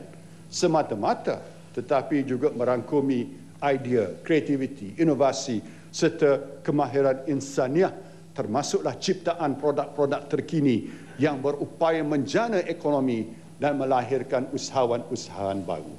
Bagi maksud strategi ini dan falsafah modal insan selaras dengan ekonomi keperluan rakyat adalah menjadi hasrat kerajaan agar komponen gaji dalam KDNK ditingkatkan daripada takut 34% pada masa ini kepada 40% daripada KDNK menjelang 2020. Tuan Yang Dipertua, bagi strategi ketiga ini, Tindakan pertama, memantapkan profesionalisme pengurusan dan prestasi sekolah. Sektor pendidikan negara akan terus diperkokoh selaras dengan pelan pembangunan pendidikan Malaysia 2013-2025. Bagi tujuan ini, 56 bilion ringgit diperuntukkan kepada Kementerian Pendidikan Malaysia untuk membiayai pelbagai program pengajaran dan pembelajaran ini termasuk penekanan akan diberikan kepada pemantapan sekolah-sekolah yang memerlukan bimbingan serta bantuan khusus. Justu peruntukan 250 juta ringgit disediakan untuk menjayakan program pembimbing pakar peningkatan sekolah dan program rakan peningkatan sekolah. Tindakan kedua, mengupaya program sekolah amanah dan pembinaan sekolah baru. Kerajaan juga akan memperluaskan program sekolah amanah yang telah dimulakan pada tahun 2011. Setakat ini, 30 buah sekolah amanah telah diwujudkan yang memanfaatkan lebih 20,000 pelajar dan 1,500 guru. Di bawah program ini, pengetua diberi kuasa otonomi dan accountability yang tinggi dalam menguruskan pentadbiran serta proses pengajaran dan pembelajaran di sekolah. Justru pada tahun hadapan, kerajaan bercadang untuk memperluaskan program ini ke 20 buah sekolah lagi di negeri Johor, Sarawak, Selangor, Perak, Negeri Sembilan dan wilayah Persekutuan Kuala Lumpur dengan peruntukan 10 juta ringgit. Di samping itu, kerajaan juga akan membina 12 buah sekolah baru iaitu 7 buah sekolah rendah, 3 buah sekolah menengah dan 2 buah sekolah berasrama penuh di seluruh negara. Tindakan ketiga, mengarus perdana pendidikan teknikal dan vocational. Menjelang tahun 2020, sekurang-kurangnya 46% pekerjaan memerlukan kelayakan teknikal dan vocational. Untuk itu, kerajaan akan meningkatkan pembinaan pelajar, pengambilan pelajar di college vocational dan college community melalui program transformasi vocational dan teknik serta menaik taraf college. Bagi tujuan tersebut, kerajaan memperuntukkan 1.2 bilion ringgit.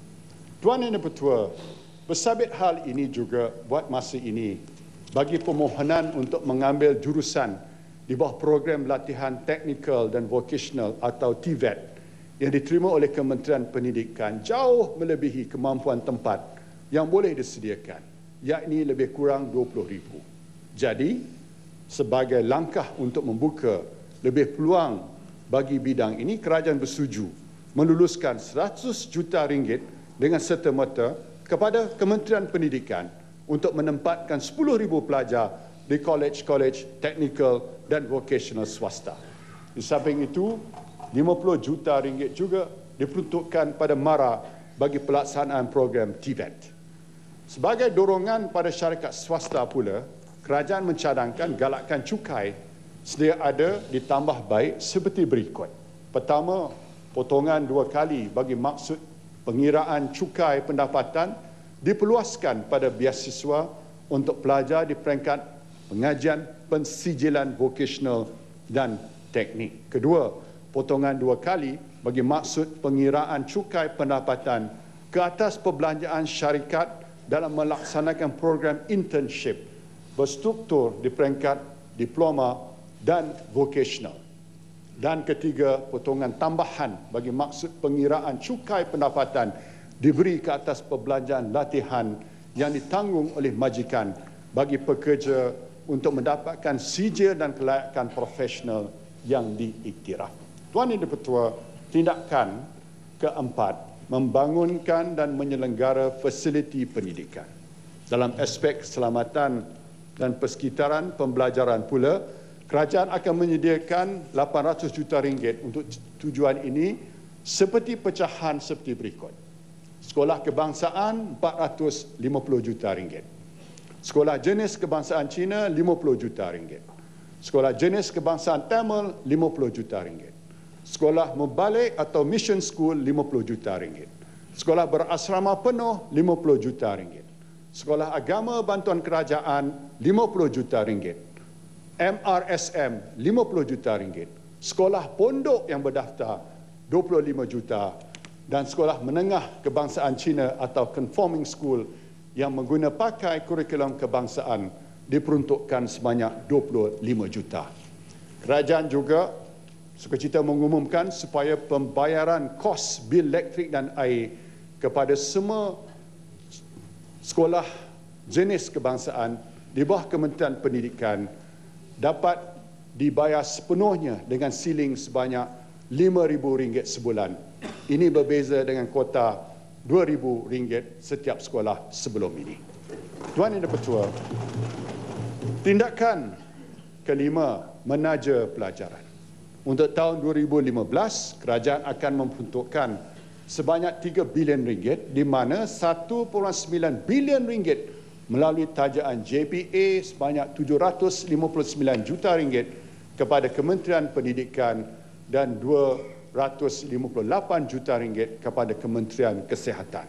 Tindakan keenam memperluas program My Brain 15 ataupun My Brain 15. Kerajaan telah memperkenalkan program My Brain 15 untuk menghasilkan 60,000 pemegang PhD menjelang tahun 2023. Setakat ini seramai 34,525 pelajar sedang mengikuti pengajian di peringkat sarjana dan doktor falsafah melibatkan perbelanjaan lebih 386 juta ringgit. Untuk tahun 2015, sebanyak 112 juta ringgit lagi akan diperuntukkan. My Brain 15 yang kini terbuka kepada sektor swasta dicadangkan diperluas kepada penjawat awam dan kaki tangan badan berkanun yang ingin melanjutkan pengajian secara separuh masa di institusi pengajian tinggi tempatan. Tindakan ketujuh, tabung pendidikan tinggi nasional. Sejak penubuhan Pembananan Tabung Pendidikan Tinggi Nasional atau PTPTN pada tahun 1997 sehingga kini, seramai 2.1 juta rakyat Malaysia telah mengambil pinjaman berjumlah 47.8 bilion ringgit.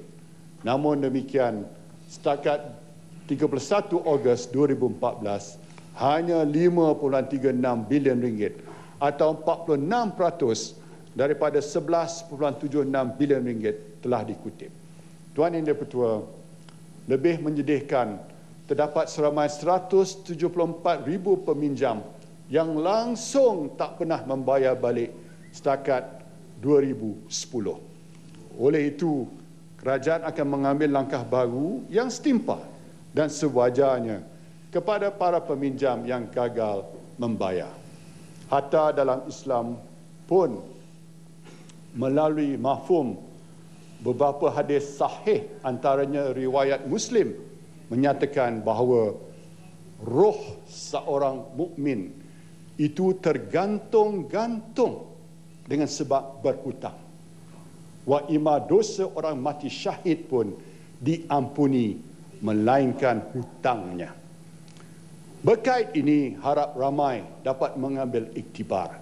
Jadinya dalam usaha menggalakkan peminjam membuat bayaran balik, kerajaan mencadangkan supaya 10% rebate diberikan sekiranya peminjam membuat bayaran balik pinjaman secara berterusan selama 12 bulan sehingga 31 Disember 2015.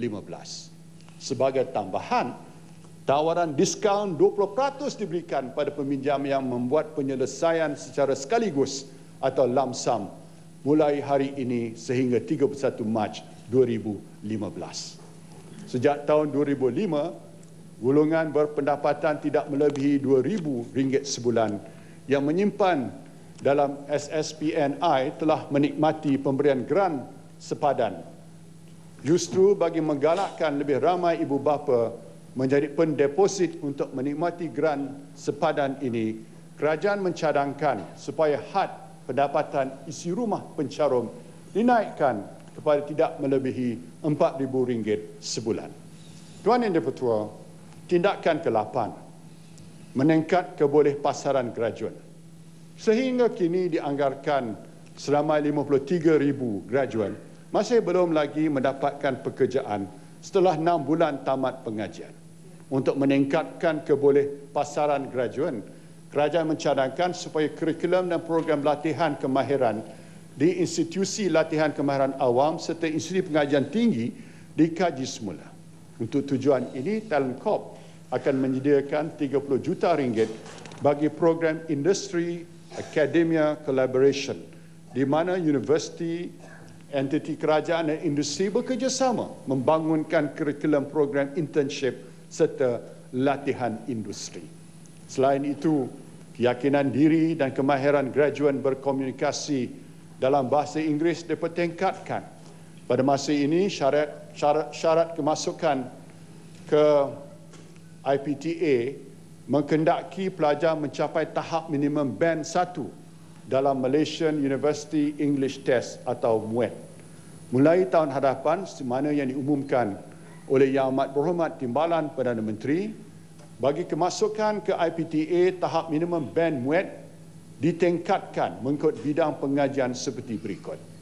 Pengajian sastra dan sains sosial band 2. Ini pada masa sekarang pengajian sains, teknologi, kejuruteraan dan matematik atau STEM band 3, pengajian undang-undang dan perubatan band 4. Sebagai syarat bergajuan pula, pelajar wajib mencapai bagi mereka pengajian pengajian sastra dan sains sosial band 3, pengajian STEM band 4, pengajian undang-undang dan perubatan band 5. Saya juga ingin menyarankan IPTS melaksanakan langkah yang sama. Tuan Yang Dipertua, tindakan ke-9 mensejahterakan gulungan pekerja. Pada suku kedua 2014, jumlah pekerjaan adalah sebanyak 13.5 juta iaitu peningkatan lebih 1.6 juta pekerjaan berbanding tahun 2010. Bagi memastikan kebajikan pekerja terus terbela, Akta Kerja 1955 dan akta perburuhan yang berkaitan akan dikaji semula termasuk terma dan syarat pekerjaan pelantikan pemberhentian waktu bekerja yang fleksibel serta faedah penamatan kerja. Portal Jobs Malaysia akan ditambah baik bagi memenuhi keperluan pasaran tenaga kerja yang semakin dinamik. Kerajaan akan memperkenalkan sistem insuran pekerjaan bertujuan membantu gulungan pekerja yang diberhentikan melalui pemberian bantuan saraan sementara serta peluang latihan semula atau reskilling and upskilling dan menyediakan latihan teknikal dan bantuan pendidikan kepada golongan belia India terutama dari keluarga kurang berkemampuan dengan peruntukan 30 juta ringgit. Pada tahun 2011, skim latihan Satu Malaysia atau SLIM telah berjaya mendapatkan pekerjaan kepada 45,000 graduan dari kalangan isi rumah berpendapatan rendah dan luar bandar.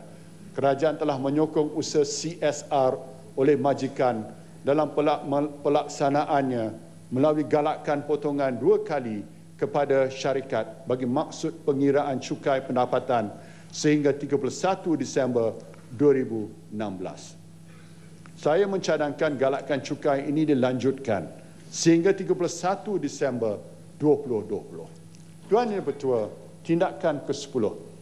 Bagi memperhebatkan program upskilling dan reskilling, kerajaan akan memperkenalkan satu program baru iaitu Globally Recognized Industry and Professional Certification atau One Malaysia GRIP dengan peruntukan sebanyak 300 juta ringgit secara matching grant antara kerajaan dan pembangunan sumber manusia berhad bagi melatih seramai 30,000 pekerja. Tindakan ke-11, kerajaan akan meningkatkan program latihan kemahiran di institusi latihan kemahiran Jabatan Tenaga Kerja atau JTK. Program latihan ini akan melibatkan pelajar lepasan sijil kemahiran Malaysia, graduan universiti atau kolej serta pekerja industri terutama pekerja separuh mahir bagi mengoptimumkan 32 institusi latihan JTK kerajaan akan mengoptimumkan kapasiti latihan double shift bagi program sepenuh masa melibatkan 176 kursus yang mempunyai permintaan tinggi dalam pasaran pekerjaan pengambilan pelajar sebanyak dua kali setahun dianggarkan melibatkan 48,000 dalam tempoh 5 tahun pelaksanaan dengan peruntukan sebanyak 570 juta ringgit. Tindakan ke-12, kerajaan berhasrat untuk menjadikan Malaysia sebagai lokasi tumpuan syarikat pemulaan atau startup di rantau ini. Salah satu usaha adalah penubuhan Magic bagi mewujudkan ekosistem yang lebih kondusif untuk memudah cara syarikat startup memulakan perniagaan. Justru bagi menarik lebih ramai usahawan ekspatriat syarikat startup beroperasi di Malaysia, dicadangkan kriteria khas modal berbayar syarikat startup ditetapkan sebanyak 70 RM5,000. Usahawan expatriate startup yang layak akan diberi startup work pass untuk tempoh satu tahun. Tuan Yang Dipertua, strategi keempat, memperkasa agenda Bumi Putra. Sejak merdeka, semua perancangan serta dasar ekonomi Melayu dan Bumi Putra oleh pihak kerajaan telah digubal berasaskan perhitungan komposisi masyarakat majmuk tersebut. Secara prinsipnya, perkara dan amalan ini telah diterima pakai sebagai satu kontrak sosial sejak sekian lama oleh seluruh rakyat Malaysia, dilindungi dan dimaktubkan dalam perlembagaan persekutuan. Makanya Melayu dan Bumi Putra sebagai trust kepada agenda nasional tidak boleh dinafikan oleh sesiapa. Sesungguhnya sebarang perkasa bersifat nasional yang tidak mengambil kira atau mengabaikan agenda Melayu serta Bumi Putra sama ada Islam maupun bukan Islam adalah tidak adil dan tidak saksama. Hatta sejarah telah membuktikan sejak puluhan tahun bukan saja orang Melayu dan Bumi Putra bahkan semua rakyat Malaysia berkongsi nikmat meraih manfaat bersama hasil daripada pembangunan ekonomi negara. Jelasnya ini telah kita lakukan bukanlah dengan mengambil atau menidak hak sesiapa tetapi sebenarnya melalui penciptaan kekayaan baru dan penjanaan pertumbuhan ekonomi yang mampan. Apatah lagi menjelang 2020 jumlah Melayu dan Bumi Putra Islam dan bukan Islam akan mencapai lebih 70%. Tuan Yang Dipertua, untuk strategi ini tindakan pertama meningkatkan pemilikan equity Bumi Putra.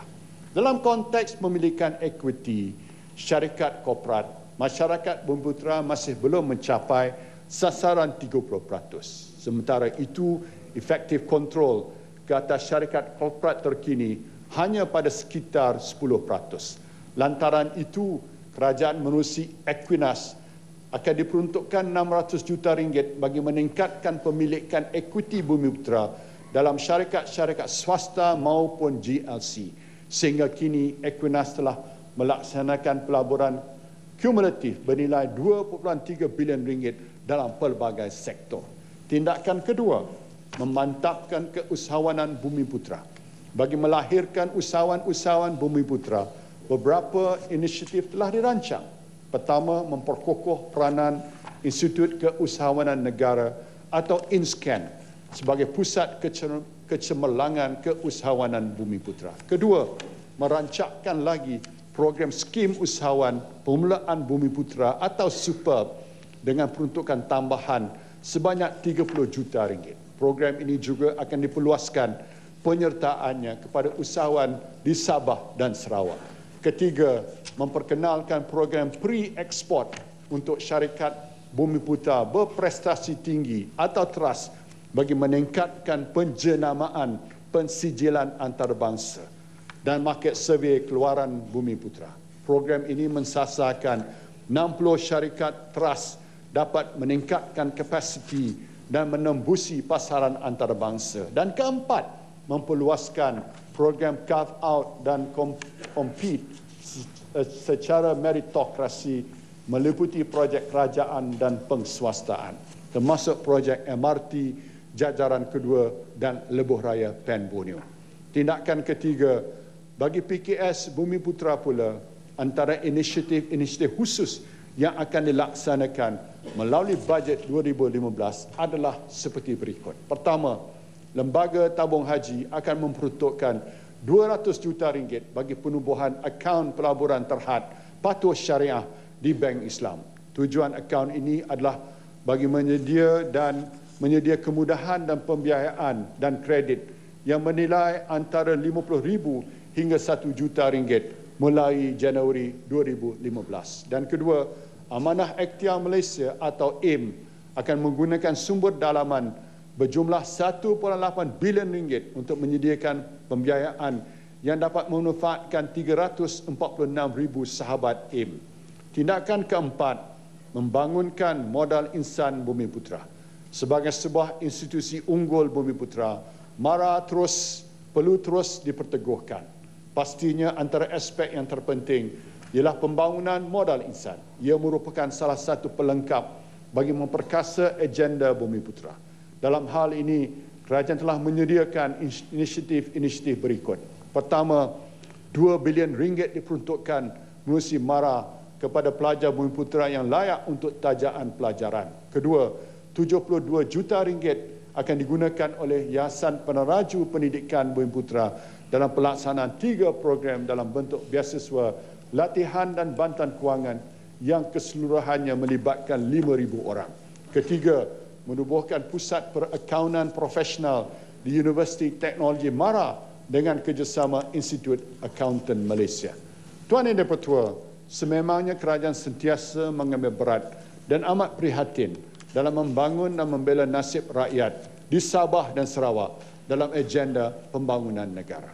Sehubungan itu, sebagaimana projek Lebuh Raya Utara Selatan telah mentransformasikan pembangunan dari Perlis ke Johor, kerajaan akan mula membina lebuh raya Pen Borneo sepanjang 1663 km melibatkan jajaran Sarawak sepanjang 936 km dan jajaran Sabah sepanjang 727 km dengan kos pembinaan sebanyak 27 bilion ringgit.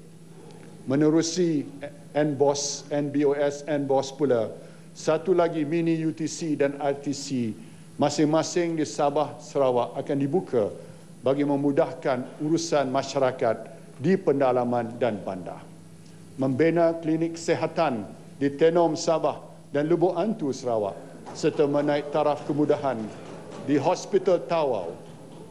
Kerajaan akan menjadi turut menyediakan perkhidmatan perubatan nuklear dan radioterapi bagi merawat pesakit kanser di Hospital Wanita dan Kanak-kanak di Likas, Sabah. Tuan Yang Bertua, negeri Sabah mempunyai negeri merupakan negeri yang mempunyai pesisiran pantai yang panjang dan luas. Justru bagi memperkukuhkan keselamatan di kawasan zon keselamatan pantai timur Sabah atau S-Zone kawasan keselamatan khas Pantai Timur Sabah atau ESKOM diperuntukkan 660 juta ringgit. Dua batalion melibatkan satu batalion PGA, PDRM dan satu batalion tentera darat dengan jumlah anggota baru seramai 1,280 anggota telah diluluskan. Dua buah kem juga akan dibina di Ezon iaitu kem batalion 20 PGA di Beluran, Beluran dan kem, kem ATM di Felda Sahabat, Lahad Datu, Sabah. Di samping itu, kelengkapan operasi pertahanan dan keselamatan akan ditambah. Antaranya perolehan sistem radar pengawasan yang berkeupayaan tinggi. Kerajaan juga akan menggunakan satu pelantar minyak yang diubah sesuai dengan sebuah kapal auxiliary sebagai sea basing di perairan S-Zone dengan peruntukan sebanyak 230 juta ringgit melalui program CSR Petronas. Sebagai tambahan untuk membolehkan pesawat berkeupayaan tinggi mendarat, kerajaan akan memanjangkan landasan lapangan terbang di Lahad Datu dan perpindahan Squadron Hawk dari Butterworth ke Labuan dengan peruntukan sebanyak 50 juta. Kerajaan juga akan menempatkan semula perkampungan-perkampungan air seperti di Sempurna dan Sandakan secara berperingkat. Kerajaan berharap dengan inisiatif ini, keselamatan rakyat Malaysia di Sabah akan terus terjamin dan aktiviti ekonomi akan terus rancak. Tuan Ibu Ketua, sebagai memperkokoh rantaian bekalan makanan di Sabah Sarawak, julung-julung kalinya subsidi padi bukit diperkenalkan dengan peruntukan sebanyak 70 juta ringgit. Bantuan ini akan memberi manfaat kepada kawasan penanaman seluas 76 ribu hektar. Hakikatnya, kerajaan amat mementingkan kesejahteraan rakyat, terutama yang melibatkan aspek kos sara hidup seharian mereka. Justru, kerajaan akan terus berusaha untuk mengimbangkan harga barang keperluan antara Semenanjung, Sabah dan Sarawak melalui langkah-langkah berikut. Pertama, 262 juta ringgit bagi membiayai kos pengangkutan dan penguatkuasaan kawalan harga barangan keperluan harian terutamanya di Sabah dan Sarawak. Kedua, tambahan dua buah kedai rakyat satu Malaysia di Sabah menjadikan 16 buah dan tiga buah lagi di Sarawak menjadikan 19 buah. Sesungguhnya agenda pembelaan nasib rakyat di Sabah dan Sarawak agi hidup agi ngelaban akan tetap kita perjuangkan. Tuan ini betul. Strategi kelima, memertabat peranan wanita. Sesungguhnya wanita sangat istimewa. Keunikan mereka bukan sekadar penyeri kepada sesebuah keluarga, malahan menjadi penyuluh dalam mengatasi banyak permasalahan kehidupan. Bahkan wanita itulah tulang belakang pembangunan negara. Sesuai dengan itu, kerajaan sentiasa mengemberat dalam memastikan mereka terus berperanan dalam mewarnai negara dan generasi mendatang. Pada masa ini, pekerja wanita hanya mewakili 38% daripada keseluruhan tenaga kerja di negara ini. Bagi meningkatkan sumbangan wanita dalam pembangunan negara, kerajaan akan menumpukan kepada usaha mempergiatkan penglibatan wanita dalam pasaran kerja dan aktiviti keusahawanan. Atas tujuan ini, Kementerian Pembangunan Wanita, Keluarga dan Masyarakat diperuntukkan sejumlah 2.26 bilion ringgit bagi pembangunan operasi. Antaranya program-program termasuk pertama memperkokoh program pengarah wanita bagi mencapai 30% penglibatan wanita dalam kumpulan pembuat keputusan. Kerajaan merancang untuk melatih 125 orang bakal pengarah wanita untuk mengisi jawatan sebagai ahli lembaga pengarah syarikat berkaitan kerajaan dan swasta. Saya menyuruh syarikat milik kerajaan dan swasta memberi peluang kepada lebih ramai wanita profesional menjadi ahli lembaga pengarah. Kedua, menambah baik peluang wanita untuk kembali ke pasaran kerja melalui program One Malaysia Support for Housewife yang menitik beratkan latihan kemahiran dan galakkan suri rumah. Ketiga, Talent Corp akan mewujudkan program Wanita Career Comeback untuk wanita profesional kembali ke pasaran pekerjaan berdasarkan kelayakan profesional. Kerajaan juga sentiasa peka terhadap kesejahteraan golongan wanita terutamanya dari aspek keselamatan. Sehubungan itu, kerajaan akan membeli premis rumah perlindungan khas wanita mengikut zon wilayah timur, utara dan tengah. Selain itu, bagi memberi peluang kepada ibu tunggal yang berminat dalam keusahawanan, kerajaan akan meneruskan program kemahiran inkubator ibu tunggal atau IKIT, program inkubator keusahawanan wanita dan program trust pembangunan wanita. Seterusnya, susulan daripada pembiayaan keseluruhan yang disediakan di bawah AIM Usahawan Wanita India akan diberi peruntukan khusus sebanyak 30 juta ringgit. Selain itu, bagi penjawat awam, kerajaan bersetuju menambah baik kemudahan cuti menjaga anak dengan meminda syarat pemberian supaya tidak terikat dengan tempoh cuti bersalin berkuat kuasa 1 Januari 2015. Kemudahan ini terhad untuk tempoh satu tahun diperluaskan pada pegawai wanita yang mempunyai anak tiri tanggungan, anak angkat yang diambil mengikut undang-undang anak pelihara dan anak kurang upaya. Selaras dengan hasrat kerajaan untuk menggalakkan penubuhan lebih banyak pusat penjagaan kanak-kanak di premis pejabat swasta, garis panduan sedia ada akan dipindah.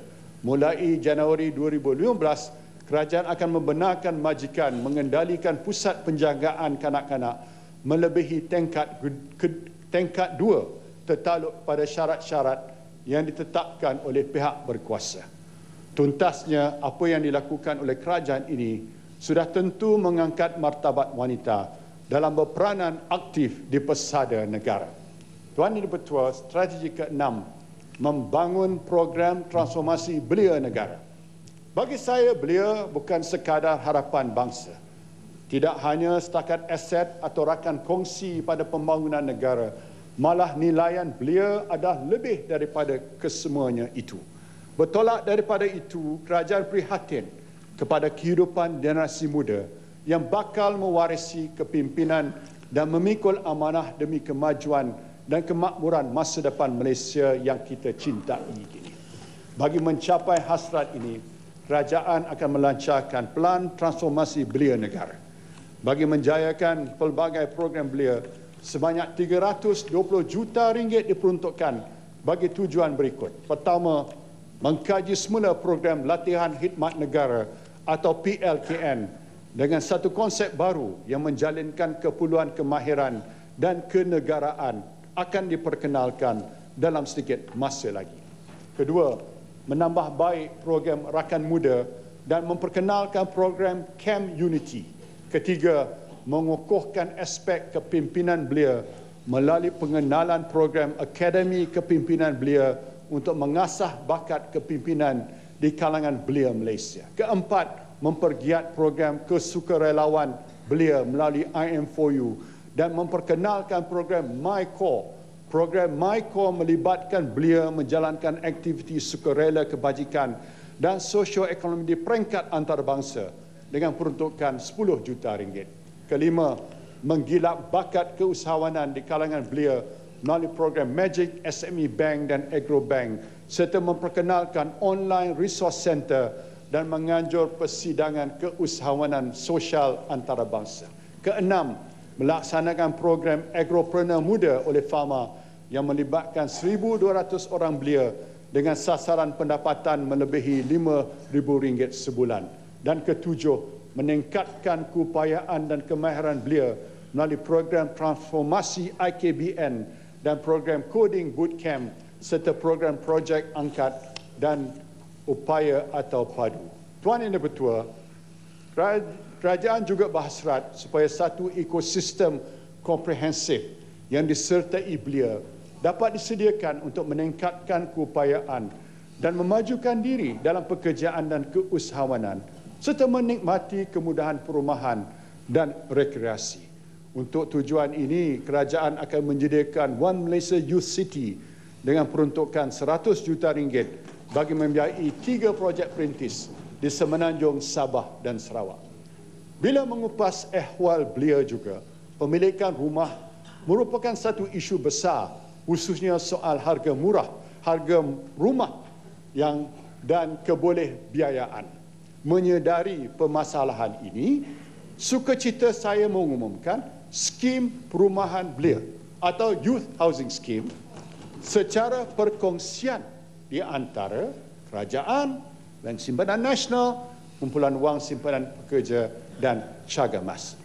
Skim ini menawarkan pemilikan rumah pertama yang bernilai tidak melebihi RM500,000 kepada belia berkahwin berumur 25 hingga 40 tahun serta mempunyai pendapatan isi rumah tidak melebihi RM10,000. Tempoh pembiayaan maksimum adalah 35 tahun. Di bawah skim ini, sebanyak RM200 sebulan diberikan oleh kerajaan untuk tempoh 2 tahun pertama bagi mengurangkan beban ansuran bulanan pinjaman perumahan. Pengecualian sebanyak 50% duty stamp ke atas surat cara pindah milik dan perjanjian pinjaman juga diberi. Lebih menarik, kerajaan turut menyediakan jaminan pinjaman sebanyak 10% bagi membolehkan peminjam mendapatkan pembayaran penuh termasuk kos insurans. Peminjam juga boleh mengeluarkan wang daripada akaun 2 KWSP mereka untuk menampung pembayaran ansuran bulanan dan kos lain yang berkaitan. Oleh itu, saya berharap gulungan belia dapat merebut peluang ini yang ditawarkan secara first come first serve basis untuk 20,000 unit rumah. Tuan Yang Pertua, pada aspek lain, kerajaan akan mengambil langkah bersepadu ke arah mentransformasikan Malaysia sebagai sebuah negara bersukan. Untuk ini, kerajaan akan merealisasikan blueprint negara bersukan atau sporting nation. Bagi mencapai hasrat ini, kerajaan memperuntukkan 103 juta ringgit bagi melaksanakan langkah-langkah berikut. Pertama, memastikan kelestarian dan kesinambungan bakat sokan bermula daripada peringkat sekolah rendah melalui program Malaysian Talent Identification. Program ini melibatkan pengujian, saringan dan pengkhususan bakat di kalangan pelajar sekolah. Kedua, meningkatkan mutu sokan berprestasi tinggi untuk enam bidang sokan terpilih dalam fasa pertama iaitu bola sepak, berbasikal, badminton, sepak takraw, renang dan olahraga. Ketiga, menyemarakkan program Fit Malaysia yang menumpukan pada kecergasan fiskal dan keempat menyambut Hari Sokan Negara pada hari Sabtu pertama dalam bulan November pada setiap tahun dengan pelibatan sektor awam, swasta dan rakyat secara serentak di seluruh negara.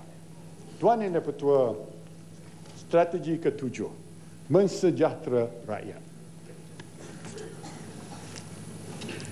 Sebenarnya kemakmuran sesebuah negara bergantung juga pada kemampuannya untuk menyediakan tahap kualiti hidup dan kesejahteraan rakyat secara menyeluruh. Sebagai langkah meringankan beban perbelanjaan awal persekolahan yang ditanggung oleh ibu bapa dan penjaja pelajar, khususnya golongan berpendapatan rendah, kerajaan akan meneruskan bantuan persekolahan bantuan sebanyak RM100 seorang akan disalurkan mulai Januari tahun depan kepada seramai 54 juta pelajar sekolah rendah dan menengah dengan peruntukan sebanyak 540 juta ringgit. Selanjutnya bagi tujuan pembelian buku-buku rojokan dan peralatan pengajian, kerajaan akan meneruskan pelaksanaan program voucher buku satu Malaysia dengan kadar bantuan RM250 seorang. Program ini diperuntukkan sejumlah 325 juta ringgit dan dijangka memberi manfaat kepada kira-kira 1.3 juta pelajar. Tuan Ibu Tua, bagi memperkokoh rantaian bekalan makanan, di samping membantu petani, peternak dan nelayan menambah pendapatan, kerajaan memperuntukkan sejumlah 6 bilion ringgit kepada Kementerian Pertanian dan Industri Asas Tani. Antaranya inisiatif yang akan dilaksanakan ialah pertama mulai tahun 2015 hingga 2017 kerajaan akan membuka 65 buah pasar tani kekal dan 50 buah pasar ikan yang beroperasi setiap hari di beberapa lokasi terpilih. Setakat ini terdapat 526 pasar tani dan 50 pasar ikan di seluruh negara. Kedua, memperkenalkan program lelongan sayur-sayuran berkualiti dengan harga berpatutan setiap minggu di 85 lokasi pusat operasi urus niaga pama dan pusat tani terpilih di seluruh negara. Ketiga, merancakkan penanaman dan tanaman semula pokok-pokok buahan seperti durian, manggis, langsat, rambutan serta memperhebatkan program Jom Bertani supaya rakyat mengusahakan tanaman kontan dan sayur-sayuran untuk kegunaan sendiri. Dan keempat, menyediakan grant pemadanan sebanyak 100 juta ringgit pada lembaga pertubuhan peladang untuk membolehkan ahli-ahlinya membuat pinjaman bagi meningkatkan produktiviti ladang dan rangkaian pemasaran. Selain itu, kerajaan akan mempergiatkan empat kawasan pembangunan pertanian bersepadu di Rompin, Batang Lupa, Kota Belut dan Pekan yang melibatkan kawasan tanaman padi seluas 25,905 hektar. Bagi tujuan ini sebagai permulaan, kerajaan memperuntukkan 100 juta ringgit. Tuan Yang Dipertua, semua lapisan rakyat tidak kira di mana adalah penting.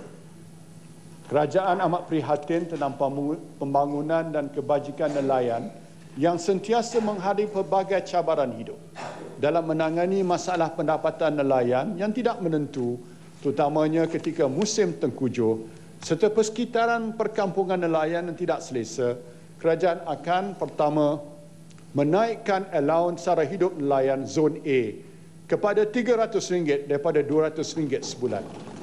Bagi nelayan zon B dan C, allowance sara hidup dinaikkan kepada RM250 sebulan. Kedua, bagi nelayan darat sepenuh masa, buat pertama kalinya akan diberi allowance RM200 sebulan. Pemberian allowance ini melibatkan lebih 44,000 nelayan. Ketiga, mempergiatkan lagi aktiviti aquaculture seperti ternakan ikan, udang, kupang dan tiram dalam sangka bagi mempelbagaikan sumber pendapatan nelayan yang terjejas terutama di musim tengkujuh. Untuk ini sebanyak 60 juta ringgit diperuntukkan dan keempat memasang automatic identification system ke atas bot-bot nelayan untuk meningkatkan hasil tangkapan ikan memastikan kedudukan bot nelayan berdasarkan zon tangkapan dan mengurangkan kos operasi. Untuk tujuan ini, 27 juta ringgit diperuntukkan. Dalam bajet 2012, saya telah mengumumkan peruntukan sebanyak 300 juta ringgit untuk projek khas perumahan nelayan bagi membaik pulih dan membina rumah nelayan.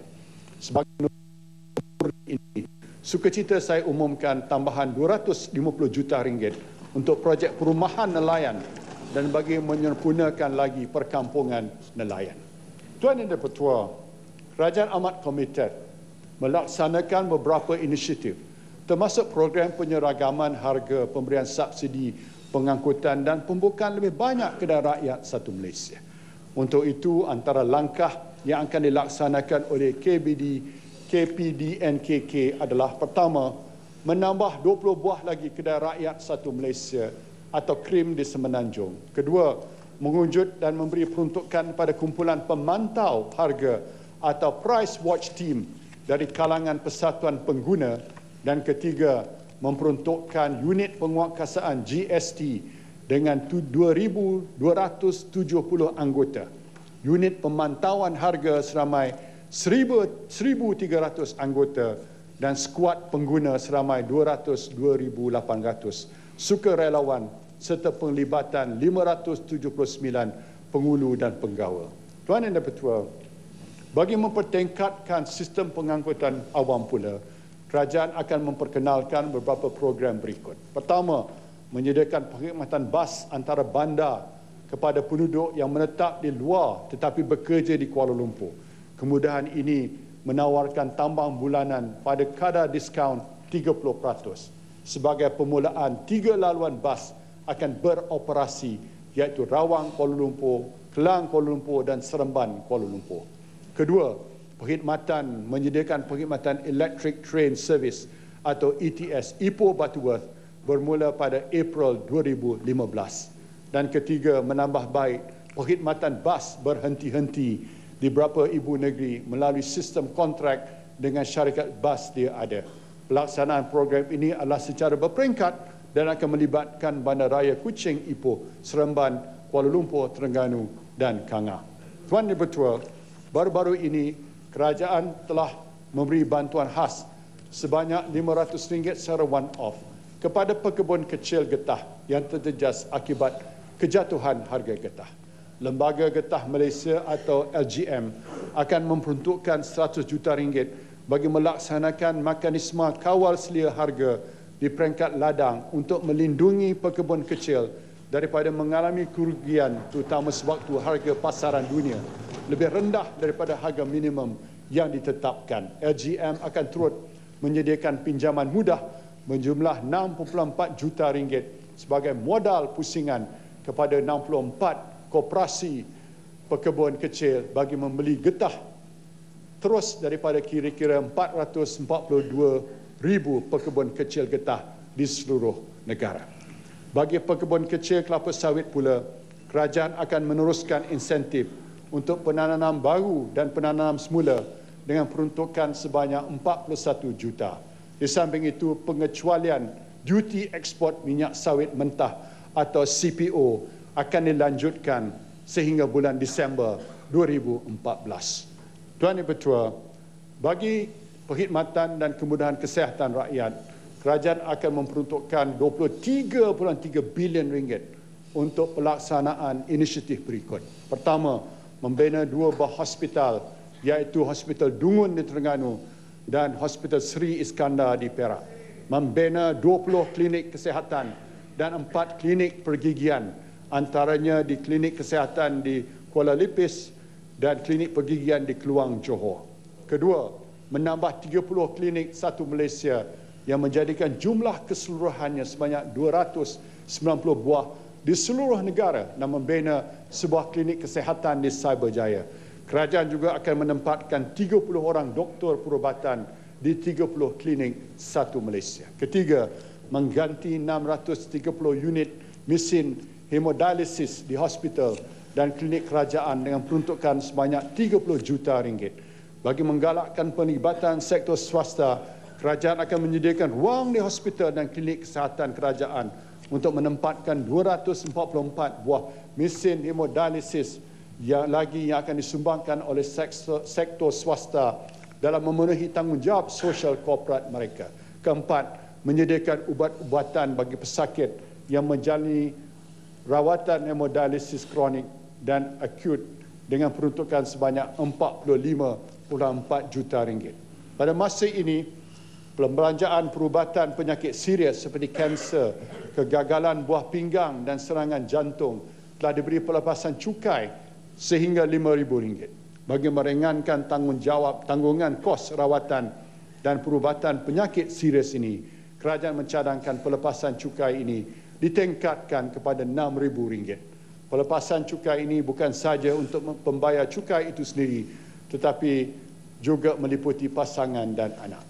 Mutakhir ini penularan wabak demam denggi semakin serius. Bagi mengekang penularan wabak berkenaan, program pencegahan denggi akan dipertingkatkan melalui kesedaran komuniti dan perolehan peralatan pencegahan denggi seperti reagent, ultra low volume dan mist blower. Di samping itu, kerajaan akan mengagihkan sebanyak 55,000 test kit denggi kepada semua klinik swasta untuk mempercepatkan proses pengesanan awal denggi secara percuma. Untuk itu sebanyak 30 juta ringgit diperuntukkan. Tuan Yang Dipertua, kerajaan amat prihatin terutama kepada gulungan yang memerlukan. Selaras dengan ini, kerajaan memperuntukkan sebanyak 2.2 bilion ringgit kepada Kementerian Pembangunan Wanita, Keluarga dan Masyarakat untuk melaksanakan program berikut. Pertama, menyediakan 1.2 bilion ringgit bantuan kewangan kepada keluarga miskin, kanak-kanak, warga mas dan orang kelainan upaya atau OKU. Untuk menunjukkan keprihatinan kepada gulungan ini, kerajaan bersetuju kadar bantuan bagi OKU bekerja dinaikkan kepada RM300 daripada RM300 kepada RM350 manakala bagi OKU tidak bekerja dinaikkan daripada RM150 kepada RM200. Ini memberi manfaat kepada 110,000 OKU dengan peruntukan 66 juta ringgit. Kedua, menaikkan pelepasan cukai bagi setiap anak yang OKU daripada RM5,000 kepada RM6,000.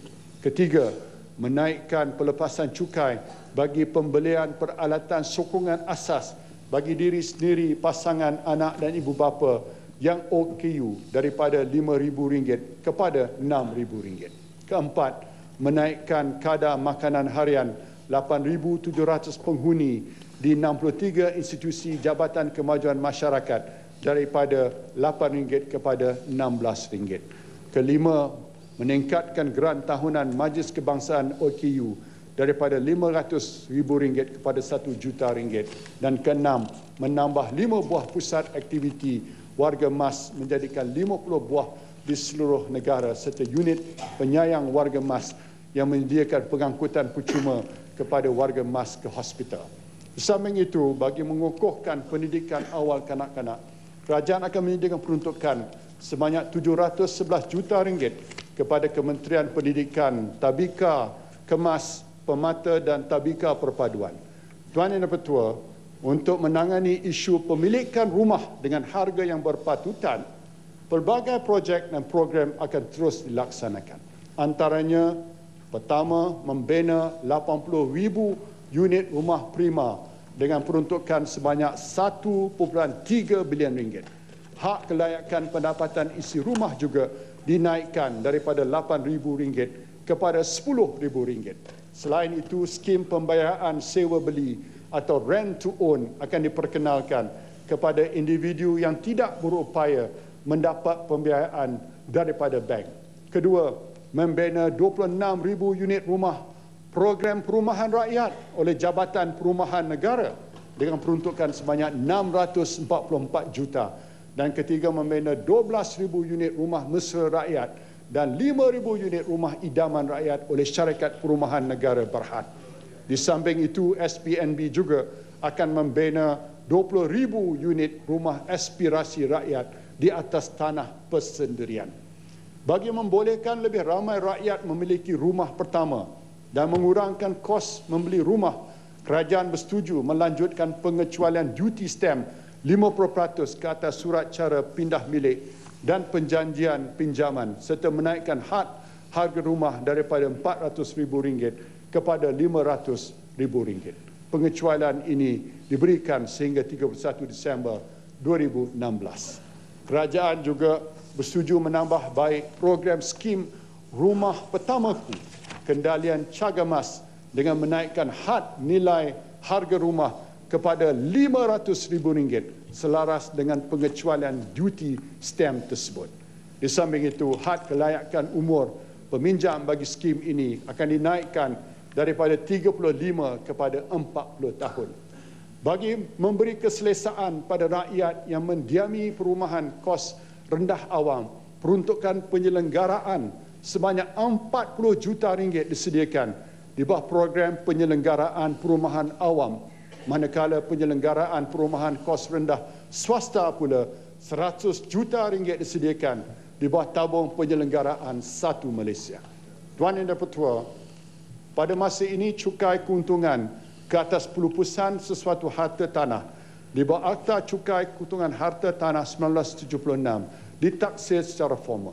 Kerajaan telah melaksanakan sistem taksiran sendiri bagi cukai pendapatan individu dan syarikat sejak tahun 2001 dan 2004 selaras dengan hasrat kerajaan untuk terus memodernkan sistem pencukaian negara dan memandangkan pembayar cukai pada masa ini lebih bertanggungjawab adalah dicadangkan mulai tahun 2016 cukai keuntungan ke atas 10% harta tanah ditaksir secara sendiri bagi tujuan pengiraan cukai keuntungan harta tanah. Kerajaan juga terus komited menyedia dan menaik taraf kemudahan dan infrastruktur luar bandar. Sejumlah 4.5 bilion ringgit akan diperuntukkan terutamanya di Sabah dan Sarawak bagi melaksanakan program seperti berikut. Pertama, projek jalan luar bandar sepanjang sepanjang 635 km termasuk bekas jalan-jalan balak di Sabah dan Sarawak dengan peruntukan sebanyak 943 juta. Kedua, melaksanakan program penyambungan bekalan elektrik kepada lebih 15,000 buah rumah dan peruntukan dengan peruntukan sebanyak 1.1 bilion ringgit. Program bekalan air bersih luar bandar kepada 7,500 buah rumah dengan peruntukan sebanyak 394 juta ringgit. Keempat, program membina dan membaik pulih rumah usang melibatkan 9,500 buah rumah dengan peruntukan sebanyak 200 juta ringgit. Kelima, meningkatkan mutu perkhidmatan udara luar bandar di Sabah Sarawak melalui penyelenggaraan dan sewaan pesawat baru dengan peruntukan sebanyak 160 juta. Keenam, melaksanakan program pembangunan ekonomi, kemudahan infrastruktur dan penambahbaikan taraf hidup masyarakat orang asli dengan peruntukan sebanyak 352 juta. Dan ketujuh, menambah 10 batang tiang lampu menjadikan 20 batang tiang lampu di setiap kampung di seluruh negara. Dia kampung-kampung ini terang benderang yang melibatkan lebih 22,000 kampung dengan peruntukan sebanyak 26 juta. Ini menjadikan jumlah keseluruhannya 56 juta ringgit bagi menyediakan lampu jalan kampung. Tuan Yang Betul, Bekalan air merupakan elemen penting dalam kehidupan seharian setiap insan dan industri. Sehubungan dengan itu, kerajaan akan menyediakan National Water Blueprint bagi memastikan kelangsungan bekalan air di seluruh negara untuk jangka panjang. Ini termasuk pengurusan sungai secara holistik, pembinaan penambahbaikan loji-loji rawatan air. Sumber bekalan air juga dipelbagaikan melalui penerokaan air bawah tanah, penggunaan semula air terawat untuk industri dan pertanian serta meluaskan penggunaan storm water retainer system bagi mengatasi kekurangan bekalan air di Lembah Kelang, pembinaan loji rawatan air Langat 2 akan digiatkan. Ini melibatkan kos sebanyak 3 bilion ringgit yang mampu menambah bekalan air terawat sebanyak 1,130 juta liter, sehari. Di samping itu, untuk mengatasi masalah kehilangan air tidak berhasil atau non-revenue water, sebanyak 112 juta ringgit diperuntukkan bagi kerja-kerja mewujudkan zon kawalan kebocoran menjalankan kerja pengesanan dan pembaikan paip-paip bocor. Tuan Yang Dipertua, bagi meningkatkan tahap keselamatan dan ketenteraman awam serta pertahanan negara, peruntukan sebanyak 17.7 bilion ringgit disediakan untuk Angkatan Tentera Malaysia. Sementara sebanyak 9.1 bilion ringgit diperuntukkan untuk Polis Diraja Malaysia. Sejumlah 804 juta ringgit juga diperuntukkan pada APMM bagi memperkokohkan penguatkuasaan maritim. Kerajaan komited untuk mengurangkan kadar jenayah di negara ini yang menjadi salah satu daripada bidang keberhasilan utama negara. Untuk ini, kerajaan telah meluluskan tambahan sebanyak 11,757 pejawatan anggota polis selain membina sebanyak 14,000 pejabat polis dan balai polis termasuk bangunan baru IPK Perlis serta terus memperkokohkan dengan penambahan seribu lagi unit rondaan bor motosikal PDRM. Selain itu, kerajaan akan memperuntukkan sebanyak 121 juta ringgit pada PDRM untuk melaksanakan pelbagai program NKRA. Bagi meningkatkan kesiapsiagaan aset dan anggota tentera, sebanyak 7 bilion ringgit diperuntukkan untuk memperolehi dan menyelenggara aset-aset pertahanan Selain itu, kebajikan anggota tentera akan dipertingkatkan termasuk perkhidmatan kesihatan dan penyediaan kediaman. Manakala bagi meningkatkan keselamatan maritim, APMM disediakan peruntukan sebanyak 393 juta ringgit. Ini adalah untuk meningkatkan kecekapan operasi dan pembelian tujuh buah kapal peronda baru. Tuan Yang Dipertua, selain itu, Jabatan Sukarelawan Malaysia di bawah Kementerian Dalam Negeri atau rela akan terus memainkan peranan sebagai sebuah agensi sukarelawan untuk membantu pasukan keselamatan dalam mengekalkan keselamatan dan keamanan negara. Sebanyak 117 juta ringgit disediakan terutamanya untuk latihan dan bina upaya bagi mengukuh peranan rela. Tuan Yang Dipertua, sejak dahulu kerajaan sememangnya mengiktiraf peranan penting NGO. Justru saya ingin memaklumkan tahun hadapan sebagai pemerkasaan NGO dan kesukarelawan untuk My NGO 2015 untuk itu grant secara one off dengan peruntukan 50 juta ringgit disediakan kepada NGO berwibawa termasuk yang beruniform melibatkan program berasaskan pembangunan komuniti, perpaduan kebajikan, masyarakat kepenggunaan kesihatan dan keselamatan. Tuan Yang Dipertua,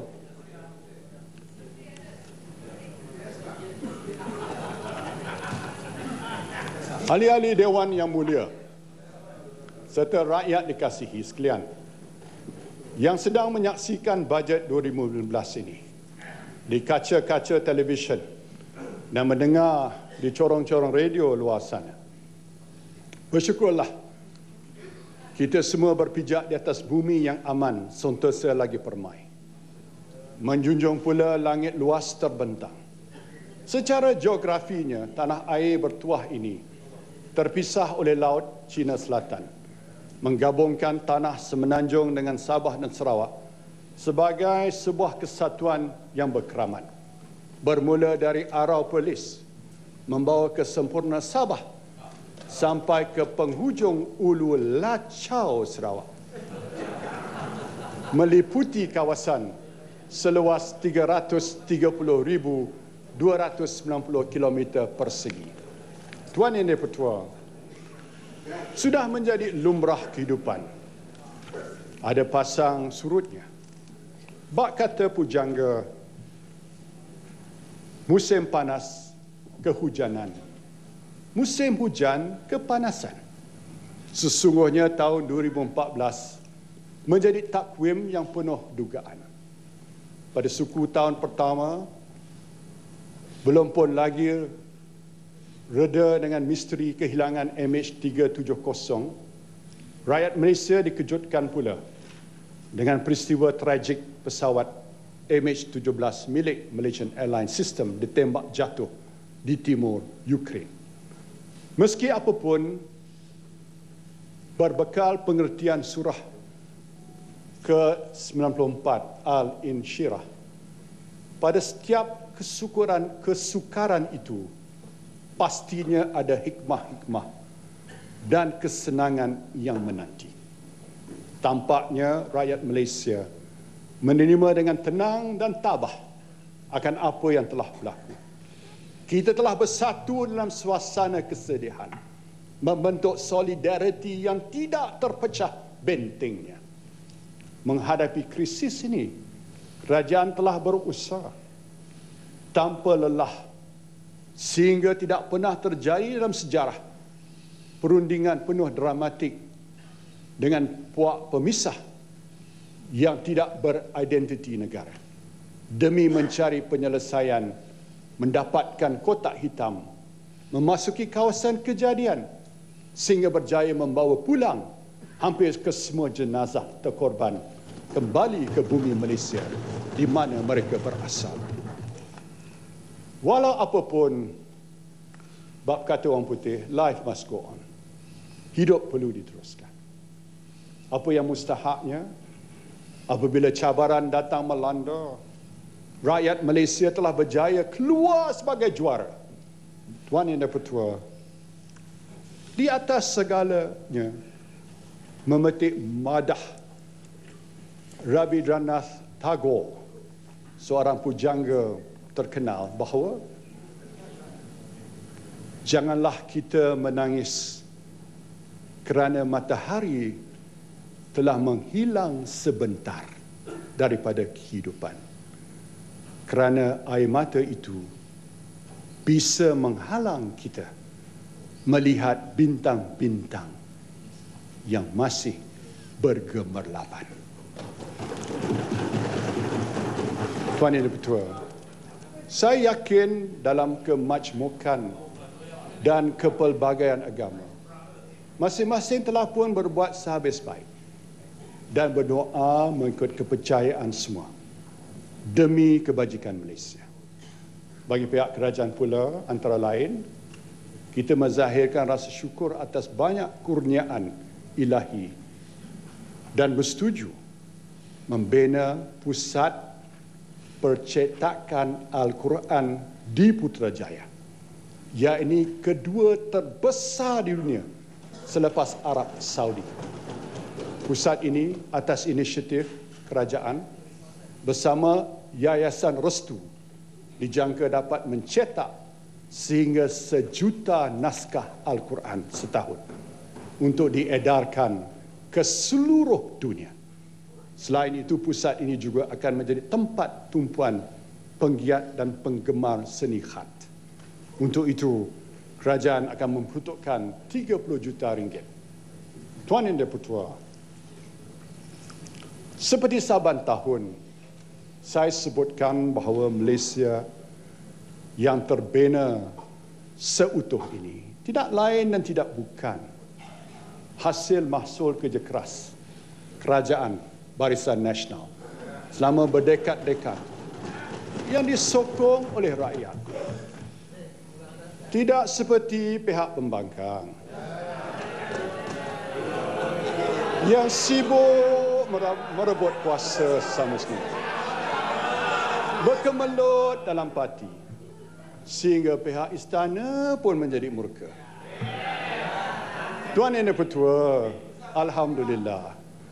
Alhamdulillah di celah-celah pelbagai dugaan ini, Malaysia terus melangkah gagah dengan banyak catatan pencapaian di peringkat global antaranya Pertama, memperbaiki kedudukan dalam laporan World Competitive Index 2014 menduduki tangga ke-12 daripada tangga ke-15 pada tahun sebelumnya. Kedudukan tersebut menunjukkan kita lebih kompetitif berbanding dengan United Kingdom, Australia dan Finland. Kedua, menduduki tangga ketiga terbaik daripada 22 buah negara bagi penilaian Best Emerging Markets ini dikeluarkan oleh Bloomberg. Dan ketiga, menduduki tangga keenam daripada 189 buah negara dalam laporan East of Doing Business oleh Bank Dunia di mana kedudukan kita menduduki tangga pertama dalam aspek mendapat kemudahan pembiayaan. Berhubung ini, menurut hadis, bersyukur kepada Tuhan, berarti juga berterima kasih sesama manusia. Maka demikian, jika pada bajet yang lalu, saya telah mengumumkan penambahbaikan 81 skim perkhidmatan awam dalam bajet kali ini, kerajaan akan menambah baik lagi 252 skim perkhidmatan sedia ada untuk meningkatkan berkes keberkesanan sistem penyampaian perkhidmatan awam. Di samping itu, bagi menghargai khidmat pegawai dan kaki tangan kontrak kemas jasa JPNIN, JAKIM dan Seranta Felda yang telah berkhidmat melebihi 15 tahun dan telah tamat perkhidmatan kontrak mengikut umur persaraan wajib. Kerajaan bersetuju memberikan bantuan bulanan sebanyak RM300 seorang. Inisiatif ini akan memanfaatkan 1,655 individu. Tuan Yang Dipertua, sebetulnya kerajaan prihatin terhadap kesukaran penjawat awam untuk mendapat pembiayaan memiliki rumah. Oleh itu, saya mengumumkan had kelayakan minimum pinjaman perumahan dinaikkan daripada kadar RM80,000 kepada RM120,000 dan bagi had kelayakan maksimum dinaikkan daripada RM450,000 kepada RM600,000. Serentak itu wang pemprosesan permohonan pinjaman perumahan sebanyak RM100 kita mansuhkan. Kedua-dua cadangan ini berkuat kuasa pada 1 Januari 2015.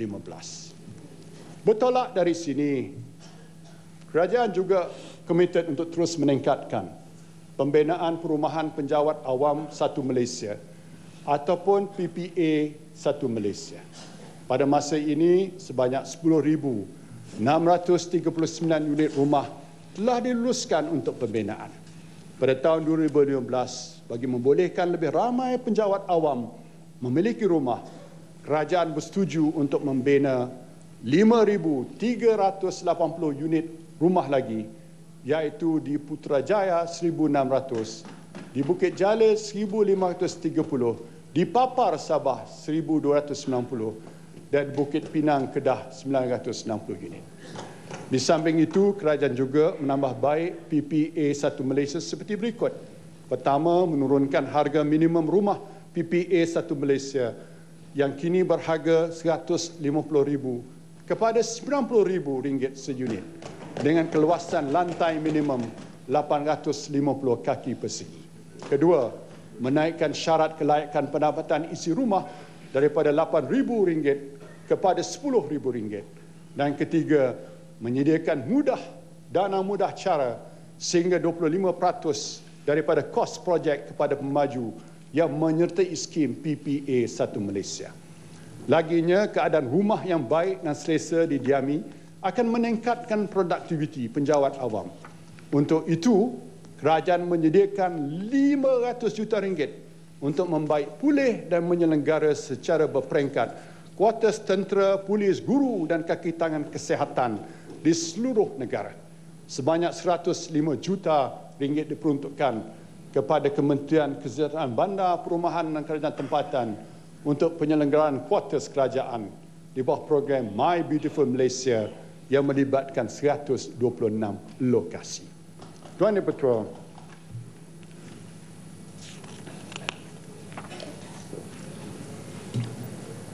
dengan mengambil kira peningkatan hasil GST, dan kemampuan fiskal kerajaan, kita tingkatkan pemberian bantuan rakyat satu Malaysia atau BRIM daripada RM650 kepada RM950.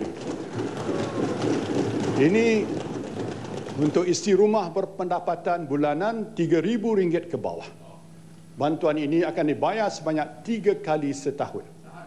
Iaitu RM300 akan dibayar pada Januari dan Mei, manakala bakinya RM350 akan dibayar mulai September 2015. Seterusnya bagi isi rumah berpendapatan bulanan antara RM3,000 hingga RM4,000, kerajaan akan meningkatkan nilai BRIM daripada RM450 kepada RM750.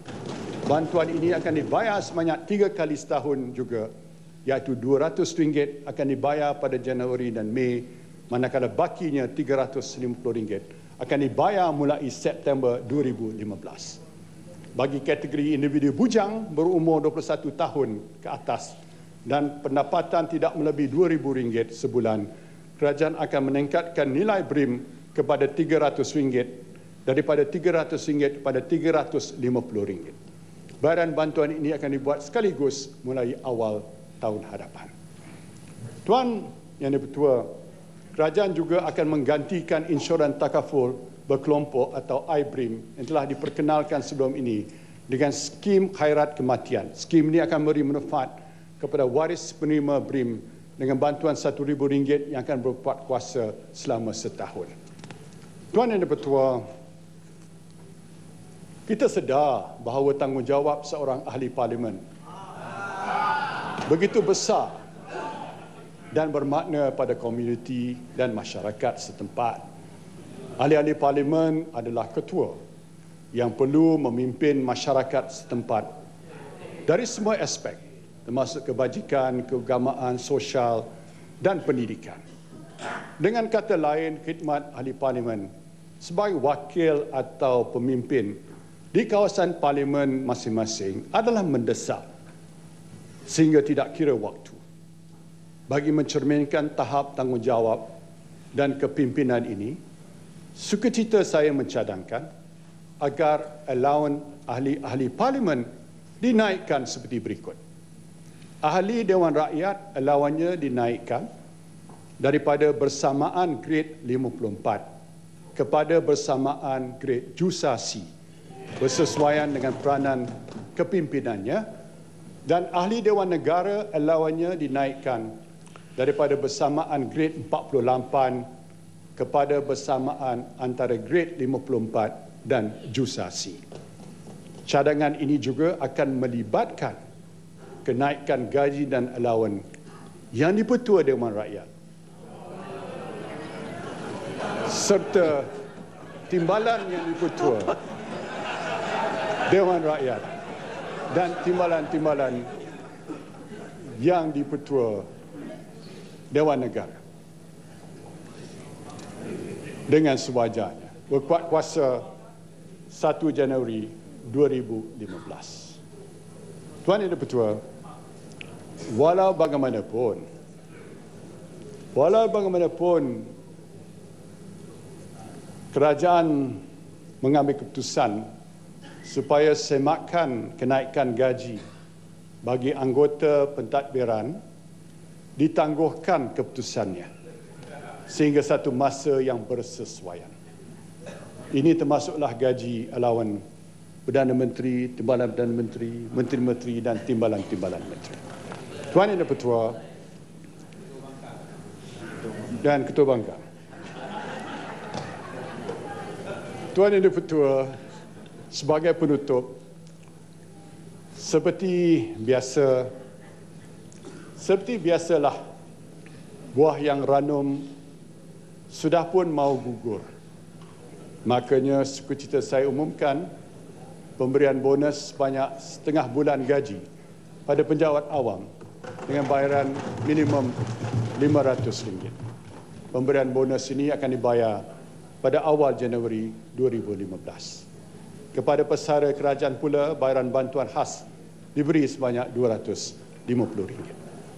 Saya berharap pemberian ini sikit sebanyak dapat meringankan beban kenaikan kos sara hidup dan menjaga kebajikan para pejabat awam terutamanya kepada keluarga untuk persediaan musim awal persekolahan nanti.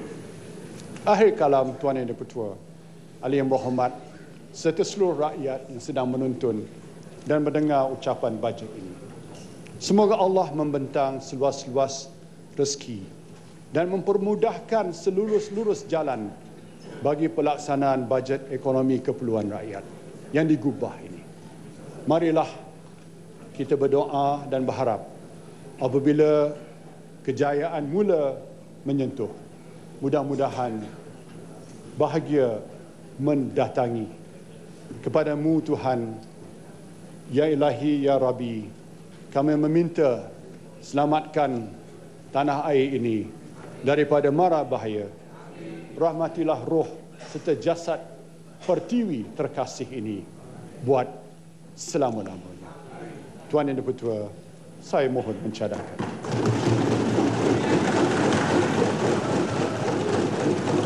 Ada ahli yang menyokong? Encik Tua, saya mohon menyokong.